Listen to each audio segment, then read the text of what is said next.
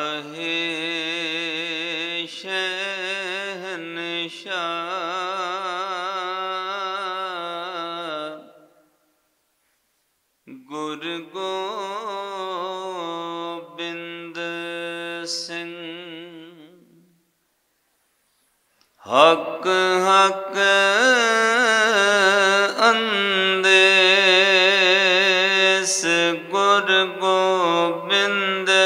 ਸਿੰਘ ਬਾਦਸ਼ਾਹ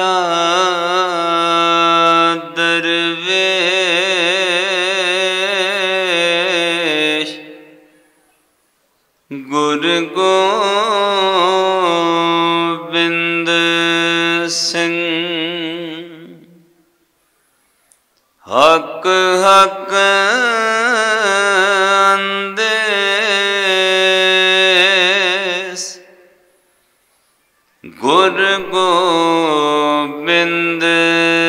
ਸਿੰਘ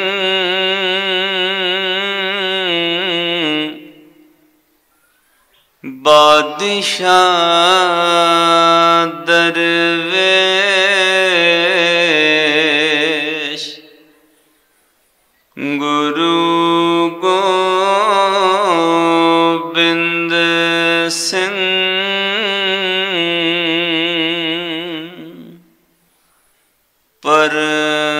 ਸਨਮਾਨੀ ਯੋਗ।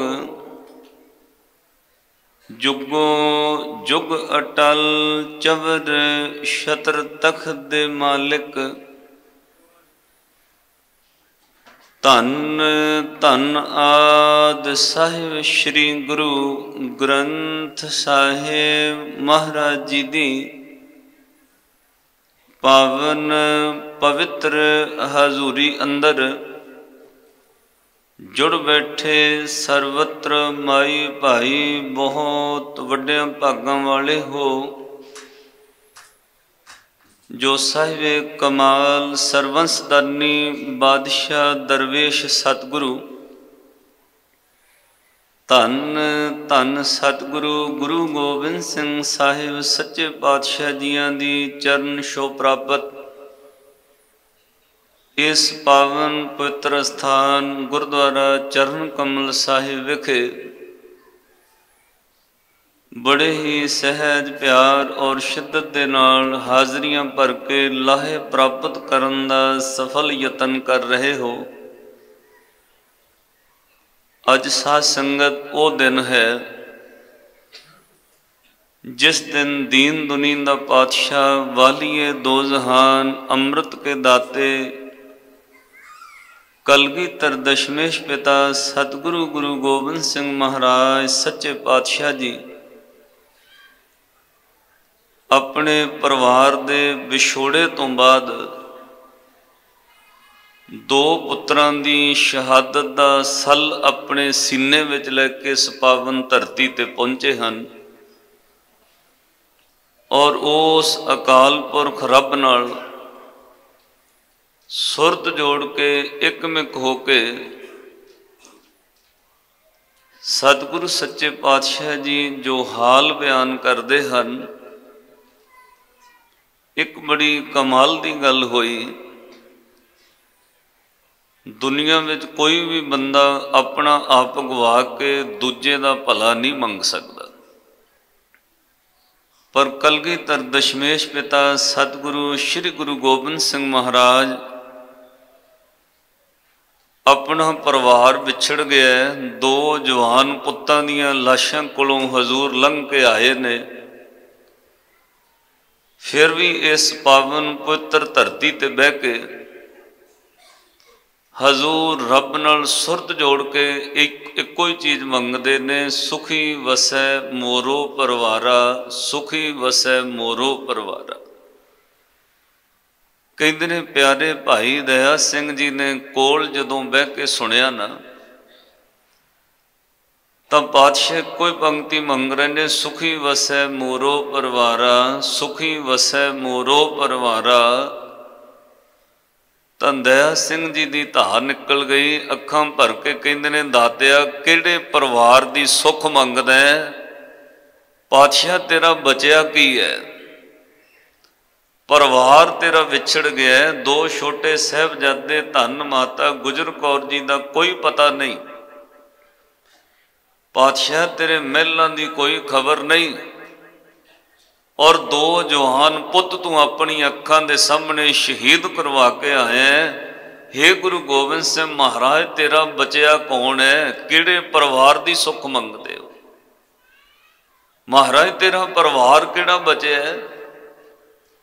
ਕਲਗੀਧਰ ਪਾਤਸ਼ਾਹ ਨੇ ਮਿੱਠਾ ਜਿਹਾ ਮੁਸਕਰਾ ਕੇ ਕਿਹਾ ਸੀ ਦਇਆ ਸਿੰਘ, ਇਹ ਪੁੱਤਰ ਮੇਰਾ ਪਰਿਵਾਰ ਨਹੀਂ। ਮੈਂ ਪਤਾ ਕਿਸ ਪਰਿਵਾਰ ਦੀ ਸੁੱਖ ਮੰਗਦਾ ਮਹਾਰਾਜ, ਕਿਸ ਪਰਿਵਾਰ ਦੀ? ਹਜ਼ੂਰ ਕਹਿੰਦੇ, ਸੁਖੀ ਵਸੈ ਮੋਰੋ ਪਰਿਵਾਰਾ, ਸੇਵਕ ਸਿੱਖ ਸਭੈ ਕਰਤਾਰਾ। ਮੈਂ ਆਪਣੇ ਸੇਵਕ ਸਿੱਖਾਂ ਦਾ ਭਲਾ ਤੇ ਪਰਿਵਾਰ ਦੀ ਸੁੱਖ ਮੰਗ ਰਿਹਾ ਹੈ, ਸਾਧ ਸੰਗਤ ਆਪਣੇ ਪੁੱਤ ਕੁਰਬਾਨ ਕਰਕੇ ਸਾਡੀ ਸੁੱਖ ਮੰਗਣ ਵਾਲਾ। ਅੱਜ ਉਹ ਦਾਤਾ ਇਸ ਪਾਵਨ ਧਰਤੀ ਤੇ ਅੱਜ ਦੇ ਦਿਨ ਹਜ਼ੂਰ ਪਹੁੰਚੇ ਨੇ। ਤੁਸੀਂ ਭਾਵਨਾ ਨਾਲ ਇਹ ਦਿਨ ਮਨਾ ਰਹੇ ਹੋ। ਬਹੁਤ ਹੀ ਪਿਆਰ ਦੇ ਨਾਲ ਢਾਡੀ ਸਿੰਘਾਂ ਪਾਸੋਂ ਕਲਗੀਧਰ ਪਾਤਸ਼ਾਹ ਦੇ ਛੋਟੇ ਫਰਜ਼ਨ ਸਹਿਬਜ਼ਾਦਿਆਂ ਦਾ ਇਤਿਹਾਸ ਸੁਣਿਆ ਆਓ ਹੁਣ ਆਪੋ ਆਪਣੀ ਸੁਰਤ ਸ੍ਰੀ ਗੁਰੂ ਗੋਬਿੰਦ ਸਿੰਘ ਮਹਾਰਾਜ ਜੀਆਂ ਦੇ ਚਰਨਾਂ ਵਿੱਚ ਜੋੜੀਏ। ਕੋਈ ਵੀ ਰਸਨਾ ਬੰਝੀ ਨਾ ਰਵੇ। ਮਨ ਚਿਤ ਇਕਾਗਰ ਕਰਕੇ ਹਾਜ਼ਰੀ ਲਾਓ। ਅਸੀਸ ਬਖਸ਼ੋ। ਦੋਵੇਂ ਹੱਥ ਜੋੜ ਕੇ ਗੱਜ ਕੇ ਆਖੋ ਜੀ, ਵਾਹਿਗੁਰੂ ਜੀ ਕਾ ਖਾਲਸਾ, ਵਾਹਿਗੁਰੂ ਜੀ ਕੀ ਫਤਿਹ। ਗੱਜ ਕੇ ਆਖਿਆ ਕਰੋ, ਵਾਹਿਗੁਰੂ ਜੀ ਕਾ ਖਾਲਸਾ, ਵਾਹਿਗੁਰੂ ਜੀ ਕੀ ਫਤਿਹ। ਕਲਗੀਧਰ ਦਸ਼ਮੇਸ਼ ਪਿਤਾ ਸਤਿਗੁਰੂ ਸ੍ਰੀ ਗੁਰੂ ਗੋਬਿੰਦ ਸਿੰਘ ਮਹਾਰਾਜ ਜੀਆਂ ਦੀ ਵਡਿਆਈ, ਦੁਨੀਆ ਦੇ ਦੂਜੇ ਧਰਮਾਂ ਦੇ ਵਿਦਵਾਨਾਂ ਨੇ ਕੀਤੀ ਹੈ। ਇੱਕ ਮੁਸਲਮਾਨ ਵਿਦਵਾਨ ਜਿਹੜਾ ਇਮਾਨ ਦਾ ਪੱਕਾ ਹੈ ਉਹਨੇ ਸ੍ਰੀ ਗੁਰੂ ਗੋਬਿੰਦ ਸਿੰਘ ਮਹਾਰਾਜ ਪਾਤਸ਼ਾਹ ਦੇ ਜੀਵਨ ਵਿੱਚੋਂ ਦੋ ਕਿਤਾਬਾਂ ਲਿਖ ਕੇ ਪੰਥ ਨੂੰ ਭੇਂਟ ਕੀਤੀਆਂ ਨੇ। ਜਦੋਂ ਗੁਰੂ ਗੋਬਿੰਦ ਸਿੰਘ ਮਹਾਰਾਜ ਜੀਆਂ ਦੀ ਗੱਲ ਚੱਲੇਗੀ, ਸਾਕਾ ਚਮਕੌਰ ਦੀ ਗੱਲ ਚੱਲੇਗੀ ਜਾਂ ਸਾਕਾ ਸਰਹੰਦ ਦੀ ਗੱਲ ਇਤਿਹਾਸ ਵਿੱਚ ਆਏਗੀ, ਉਦੋਂ ਉਸ ਵਿਦਵਾਨ ਨੂੰ ਕੋਈ ਵੀ ਬੰਦਾ ਕੋਟ ਕਰਨ ਤੋਂ ਰਹਿ ਨਹੀਂ ਸਕਦਾ। ਉਹਨੇ ਬੜੀ ਇਮਾਨਦਾਰੀ ਨਾਲ ਉਹ ਕਿਤਾਬਾਂ ਲਿਖੀਆਂ ਨੇ। ਇੱਕ ਕਿਤਾਬ ਦਾ ਨਾਮ ਹੈ ਗੰਜੇ ਸ਼ਹੀਦਾਂ। ਦੂਸਰੀ ਕਿਤਾਬ ਦਾ ਨਾਮ ਹੈ ਸ਼ਹੀਦਾਂ ਨੇ ਵਫਾ। 1913 ਵਿੱਚ ਉਹਨੇ ਦੋਵੇਂ ਕਿਤਾਬਾਂ ਲਿਖ ਕੇ ਪੰਥ ਨੂੰ ਭੇਂਟ ਕੀਤੀਆਂ ਨੇ। ਇਮਾਨ ਦਾ ਪੱਕਾ ਉਹ ਮੁਸਲਮਾਨ। ਸ੍ਰੀ ਗੁਰੂ ਗੋਬਿੰਦ ਸਿੰਘ ਮਹਾਰਾਜ ਕਲਗੀਧਰ ਪਾਤਸ਼ਾਹ ਦੀ ਵਡਿਆਈ ਕਰਦਾ ਹੈ। ਔਰ ਨਾਲ ਦੁਨੀਆ ਦੇ ਲੋਕਾਂ ਨੂੰ ਨਸੀਹਤ ਦੇ ਕੇ ਕਹਿੰਦਾ ਇਹ ਦੁਨੀਆ ਦੇ ਲੋਕੋ, ਸਾਰਿਆਂ ਦੇ ਧਰਮ ਚੰਗੇ ਨੇ, ਸਭ ਦੇ ਗੁਰੂ ਚੰਗੇ ਨੇ। ਪਰ ਦਿਲੋਂ ਸਾਫ਼ ਹੋ ਕੇ ਇਨਸਾਫ ਕਰਿਓ। ਜਿੱਦਣ ਕੁੱਲ ਦੁਨੀਆ ਦਾ ਇਤਿਹਾਸ ਇੱਕ ਪਾਸੇ ਰੱਖੋਗੇ ਤੇ ਸ੍ਰੀ ਗੁਰੂ ਗੋਬਿੰਦ ਸਿੰਘ ਮਹਾਰਾਜ ਜੀਆਂ ਦਾ 42 ਸਾਲ ਦਾ ਜੀਵਨ ਇਤਿਹਾਸ ਇੱਕ ਪਾਸੇ ਰੱਖੋਗੇ ਬਰਾਬਰ ਬਹਿ ਕੇ ਦਿਲੋਂ ਸਾਫ਼ ਹੋ ਕੇ ਇਨਸਾਫ ਕਰਿਓ। ਇੱਕ ਵਾਰ ਤੁਲਨਾ ਕਰਕੇ ਵੇਖਿਓ, ਉਹ ਕਹਿੰਦਾ, ਦਿਲੋਂ ਸਾਫ਼ ਹੋ ਕੇ ਕੋਈ ਇਨਸਾਫ ਕਰੇ, ਮੇਰਾ ਯਕੀਨ ਹੈ, ਵਿਸ਼ਵਾਸ ਹੈ, ਉਦਣ ਹਰ ਬੰਦੇ ਦੀ ਜ਼ੁਬਾਨ ਤੇ ਇੱਕੋ ਹੀ ਗੱਲ ਹੋਏਗੀ, ਵਾਹ, ਗੁਰੂ ਗੋਬਿੰਦ ਸਿੰਘ ਤੇਰੇ ਬਰਾਬਰ ਕੋਈ ਨਹੀਂ ਹੋ ਸਕਦਾ। ਇਹ ਗੱਲ ਇੱਕ ਮੁਸਲਮਾਨ ਲਿਖਦਾ ਹੈ।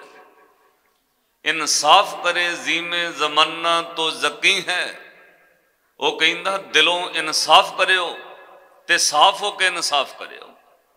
ਇਹ ਨਾ ਕਿ ਉਹ ਸਾਡਾ ਗੁਰੂ ਵੱਡਾ ਜੀ, ਸਾਡਾ ਧਰਮ ਚੰਗਾ ਜੀ, ਸਭ ਦੇ ਧਰਮ ਚੰਗੇ ਨੇ, ਸਭ ਦੇ ਗੁਰੂ ਚੰਗੇ ਨੇ, ਪਰ ਇੱਕ ਵਾਰ ਕੁੱਲ ਦੁਨੀਆ ਦੇ ਇਤਿਹਾਸ ਨਾਲ ਗੁਰੂ ਗੋਬਿੰਦ ਸਿੰਘ ਮਹਾਰਾਜ ਦਾ ਇਤਿਹਾਸ ਮਿਲ ਕੇ ਵੇਖਿਓ, ਦਿਲੋਂ ਸਾਫ਼ ਹੋ ਕੇ ਇਨਸਾਫ ਕਰਿਓ ਤੇ ਵਿਸ਼ਵਾਸ ਹੈ। ਇਨਸਾਫ ਕਰੇ ਜ਼ੀਮੇ ਜ਼ਮਾਨਾ ਤੋਂ ਜ਼ਕੀ ਹੈ। कह देंगे कि गुरु गोविंद का सन्नी ही नहीं है करतार की सौगंध नानक की कसम है जितनी भी करूं तारीफ गुरु गोविंद की वो कम है हर जंद मेरे हाथों में पुरजोर कलम है सतगुर के लिखूं वसफ कहां ताबे रकम है अगली गल वो लिखता है एक आंख से क्या बुलबुला बहर को देखे एक अख नाल कोई बंदा समुंदर नहीं वेख सकता ਕੰਡਾ ਵੇਖੇਗਾ, ਵਿਚਲੀਆਂ ਲਹਿਰਾਂ ਵੇਖੇਗਾ ਜਾਂ ਪਰਾਰ ਵੇਖੇਗਾ, ਇੱਕ ਅੱਖ ਨਾਲ ਸਮੁੰਦਰ ਵੇਖਿਆ ਨਹੀਂ ਜਾ ਸਕਦਾ ਤੇ ਅੱਲਾ ਯਾਰ ਖਾਨ ਜੋਗੀ ਲਿਖਦਾ ਉਹ ਇੱਕ ਜਨਮ ਵਿੱਚ ਗੁਰੂ ਗੋਬਿੰਦ ਸਿੰਘ ਦੀ ਵਡਿਆਈ ਨਹੀਂ ਕੀਤੀ ਜਾ ਸਕਦੀ, ਲੱਖਾਂ ਜਨਮ ਮੈਂ ਸਮੁੰਦਰ ਦੀਆਂ ਲਹਿਰਾਂ ਦੀ ਤਰ੍ਹਾਂ ਲਵਾਂ, ਤਾਂ ਵੀ ਗੁਰੂ ਗੋਬਿੰਦ ਸਿੰਘ ਮਹਾਰਾਜ ਦੀ ਵਡਿਆਈ ਨਹੀਂ ਪੂਰੀ ਹੋ ਸਕਦੀ। ਇੱਕ ਮੁਸਲਮਾਨ ਇਹ ਗੱਲ ਲਿਖ ਰਿਹਾ ਹੈ, ਹਰ ਜ਼ੰਦ ਮੇਰੇ ਹੱਥੋਂ ਮੇ ਪਰਜ਼ੋਰ ਕਲਮ ਹੈ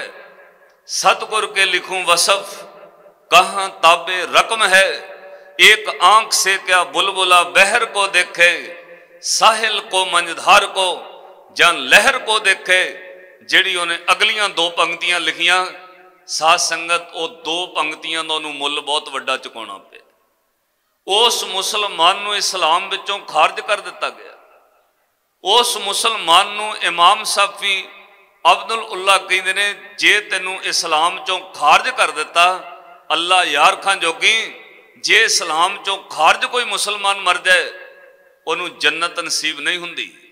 ਉਹਨੂੰ ਹਜ਼ਰਤ ਮੁਹੰਮਦ ਸਾਹਿਬ ਦੀ ਗੋਦ ਨਹੀਂ ਮਿਲਦੀ। ਤੈਨੂੰ ਇਸ ਗੱਲ ਦਾ ਡਰ ਨਹੀਂ ਕਿ ਜੇ ਤੈਨੂੰ ਇਸਲਾਮ ਚੋਂ ਖਾਰਜ ਕਰ ਦਿੱਤਾ, ਤੈਨੂੰ ਜੰਨਤ ਵਿੱਚ ਢੋ ਨਹੀਂ ਮਿਲੇਗੀ। ਉਹ ਮੁਸਲਮਾਨ ਦਾ ਕਿੰਨਾ ਵਿਸ਼ਵਾਸ ਹੋਏਗਾ ਗੁਰੂ ਗੋਬਿੰਦ ਸਿੰਘ ਮਹਾਰਾਜ?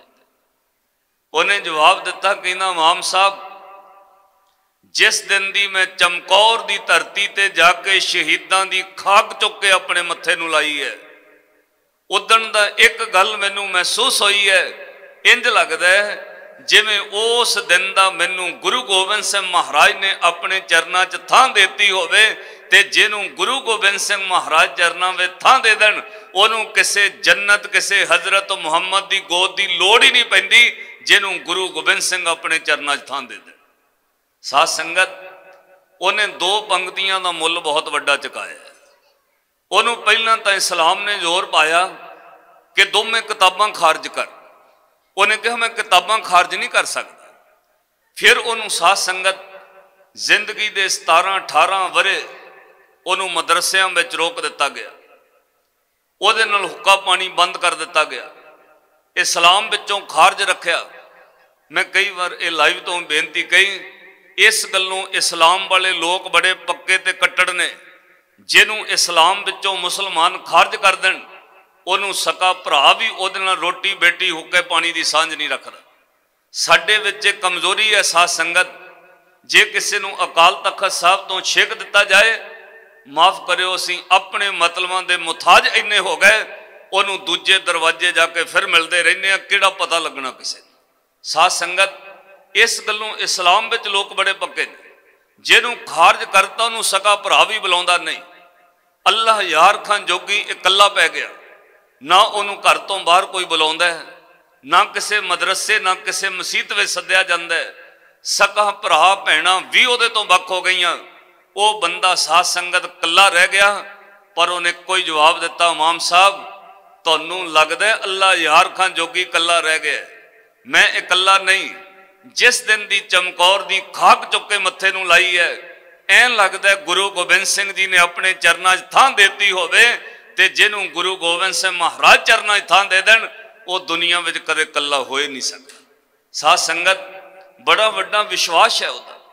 ਫਿਰ ਇਮਾਮ ਨੇ ਉਹਨੂੰ ਇੱਕ ਗੱਲ ਕਹੀ, ਜੇ ਤੂੰ ਦੋ ਲਾਈਨਾਂ ਕੱਟ ਦੇਣਾ ਕਿਤਾਬ ਚੋਂ, ਤਾਂ ਤੈਨੂੰ ਵਾਪਸ ਲੈ ਸਕਨੇ ਕਿਤਾਬਾਂ ਖਾਰਜ ਨਾ ਕਰ।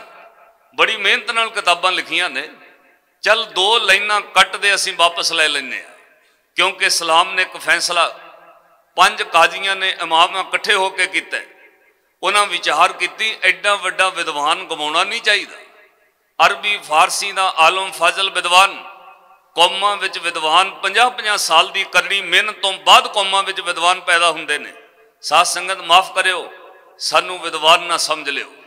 ਇਹ ਤਾਂ ਐਵੇਂ ਇਧਰੋਂ 2-4 10 ਕਿਤਾਬਾਂ ਪੜ੍ਹੀਆਂ, ਤੁਸੀਂ ਵੀ ਪੜ੍ਹ ਕੇ ਸੁਣਾ ਸਕਦੇ ਹੋ। ਸੁਣ ਕੇ, ਪੜ੍ਹ ਕੇ ਕੋਈ ਵੀ ਸੁਣਾ ਸਕਦਾ ਹੈ। ਵਿਦਵਤਾ ਬਹੁਤ ਦੂਰ ਦੀ ਗੱਲ ਹੈ। ਜਿਨ੍ਹਾਂ ਕੌਮਾਂ ਵਿੱਚ ਕੋਈ ਵਿਦਵਾਨ ਪੈਦਾ ਹੁੰਦਾ ਉਹ 50-50 ਸਾਲ ਦੀ ਮਿਹਨਤ ਤੋਂ ਬਾਅਦ ਕੌਮ ਵਿੱਚ ਵਿਦਵਾਨ ਪੈਦਾ ਹੁੰਦੇ ਸਿੱਖ ਕੌਮ 15-16 ਸਾਲ ਗੁਜ਼ਰ ਗਏ। ਅੱਜ ਤੱਕ ਗਿਆਨੀ ਸੰਤ ਸਿੰਘ ਮਸਕੀਨ ਸਾਹਿਬ ਵਰਗਾ ਬਦਲ ਤੁਸੀਂ ਕੌਮ ਵਿੱਚ ਪੈਦਾ ਨਹੀਂ ਕਰ ਸਕੇ। ਇੰਨੀ ਗਹਿਰੀ ਫਿਲਾਸਫੀ, ਸਾਧ ਸੰਗਤ, ਮਾਫ ਕਰਿਓ। ਉਹ ਇਮਾਮ ਨੇ ਇਕੱਠੇ ਹੋ ਕੇ ਪੰਜ ਕਾਜ਼ੀਆਂ ਨੇ ਮਿਲ ਕੇ ਫੈਸਲਾ ਕੀਤਾ। ਕਹਿੰਦੇ ਐਡਾ ਵੱਡਾ ਵਿਦਵਾਨ ਗਵਾਉਣਾ ਨਹੀਂ ਚਾਹੀਦਾ। ਇਹਨੂੰ ਵਾਪਸ ਆਪਣੇ ਧਰਮ ਵਿੱਚ ਲੈਣਾ ਚਾਹੀਦਾ ਹੈ। ਵਿਦਵਾਨ ਕੌਮਾਂ ਵਿੱਚ ਬੜੀ ਮੁਸ਼ਕਲ ਨਾਲ ਬਣਦੇ ਨੇ। ਉਹਨਾਂ ਘਰ ਜਾ ਕੇ ਉਹਨੂੰ ਕਿਹਾ, ਅੱਲਾ ਯਾਰ ਖਾਨ ਜੋਗੀ, ਤੈਨੂੰ ਵਾਪਸ ਲੈ ਲੈਣੇ ਆ ਪਰ ਸ਼ਰਤ ਇੱਕ ਹੈ, ਦੋ ਕਿਤਾਬਾਂ ਖਾਰਜ ਨਹੀਂ ਕਰਨੀਆਂ ਤੇ ਨਾ ਕਰ, ਦੋ ਲਾਈਨਾਂ ਕੱਟ ਦੇ, ਇੰਨੇ ਵਿੱਚ ਹੀ ਤੈਨੂੰ ਵਾਪਸ ਲੈ ਲਾਂਗੇ। ਉਹ ਦੋ ਪੰਕਤੀਆਂ ਪਤਾ ਕਿਹੜੀਆਂ ਸਨ? ਉਹਦਾ ਮੁੱਲ ਬਹੁਤ ਵੱਡਾ ਚੁਕਾਉਣਾ ਪਿਆ। ਉਹ ਦੋ ਲਾਈਨਾਂ ਨਾ ਕੱਟਣ ਦੀ ਬਜਾਏ ਅੱਲਾ ਜਹਾਰ ਖਾਨ ਜੋਗੀ ਪੂਰੀ ਉਮਰ ਇਸਲਾਮ ਵਿੱਚੋਂ ਖਾਰਜ ਰਿਹਾ ਉਹਨੂੰ ਵਾਪਸ ਇਸਲਾਮ ਵਿੱਚ ਨਹੀਂ ਲਿਆ। ਉਹ ਦੋ ਪੰਕਤੀਆਂ ਸਨ, ਹਾਸ਼ਾ ਕਿਸੇ ਮੁਰਸ਼ਦ ਮੇ ਐਸਾ ਅਸਿਆਰ ਨਹੀਂ ਹੈ, ਕਿਸੇ ਪੀਰ ਮੇ ਐਸਾ ਜ਼ਨਹਾਰ ਨਹੀਂ ਹੈ। ਇਹਦਾ ਅਰਥ ਸੀ ਉਹ ਦੁਨੀਆ ਦੇ ਲੋਕੋ ਗੁਰੂ ਗੋਬਿੰਦ ਸਿੰਘ ਮਹਾਰਾਜ ਵਰਗਾ ਦੁਨੀਆ ਵਿੱਚ ਐਸਾ ਕੋਈ ਪੀਰ ਨਹੀਂ ਜਿਹਨੇ ਆਪਣੇ ਸਿੱਖਾਂ ਨੂੰ ਇੰਨਾ ਪਿਆਰ ਕੀਤਾ ਕਿਸੇ ਪੀਰ ਨੇ ਆਪਣੇ ਮੁਰੀਦ ਨੂੰ ਇੰਨਾ ਪਿਆਰ ਨਹੀਂ ਕੀਤਾ ਜਿੰਨਾ ਗੁਰੂ ਗੋਬਿੰਦ ਸਿੰਘ ਮਹਾਰਾਜ ਨੇ ਆਪਣੇ ਸਿੱਖਾਂ ਨੂੰ ਪਿਆਰ ਕੀਤਾ ਗੁਰੂ ਗੋਬਿੰਦ ਸਿੰਘ ਮਹਾਰਾਜ ਦੇ ਬਰਾਬਰ ਕੋਈ ਪੀਰ ਨਹੀਂ ਹੋ ਸਕਦਾ, ਐਸਾ ਕੋਈ ਪੀਰ ਨਹੀਂ ਜਿਨੇ ਆਪਣੇ ਮੁਰੀਦ ਨੂੰ ਇੰਨਾ ਪਿਆਰ ਕੀਤਾ ਹੋਵੇ ਜਿੰਨਾ ਪਿਆਰ ਗੁਰੂ ਗੋਬਿੰਦ ਸਿੰਘ ਮਹਾਰਾਜ ਨੇ ਆਪਣੇ ਸਿੱਖਾਂ ਨੂੰ ਕੀਤਾ ਹਾਸ਼ਾ ਕਿਸੇ ਮੁਰਸ਼ਦ ਮੇ, ਐਸਾ ਅਸਿਆਰ ਨਹੀਂ ਹੈ ਕਿਸੇ ਪੀਰ ਮੇ ਐਸਾ ਜਨਹਾਰ ਨਹੀਂ ਹੈ ਔਰ ਸਾਧ ਸੰਗਤ ਇਹਦਾ ਪ੍ਰਤੱਖ ਪ੍ਰਮਾਣ ਵੇਖਿਓ। ਆਪਾਂ ਕਹੀਏ ਐਵੇਂ ਨਹੀਂ ਉਹ ਗੁਰੂ ਦੀ ਵਡਿਆਈ ਕਰ ਰਿਹਾ।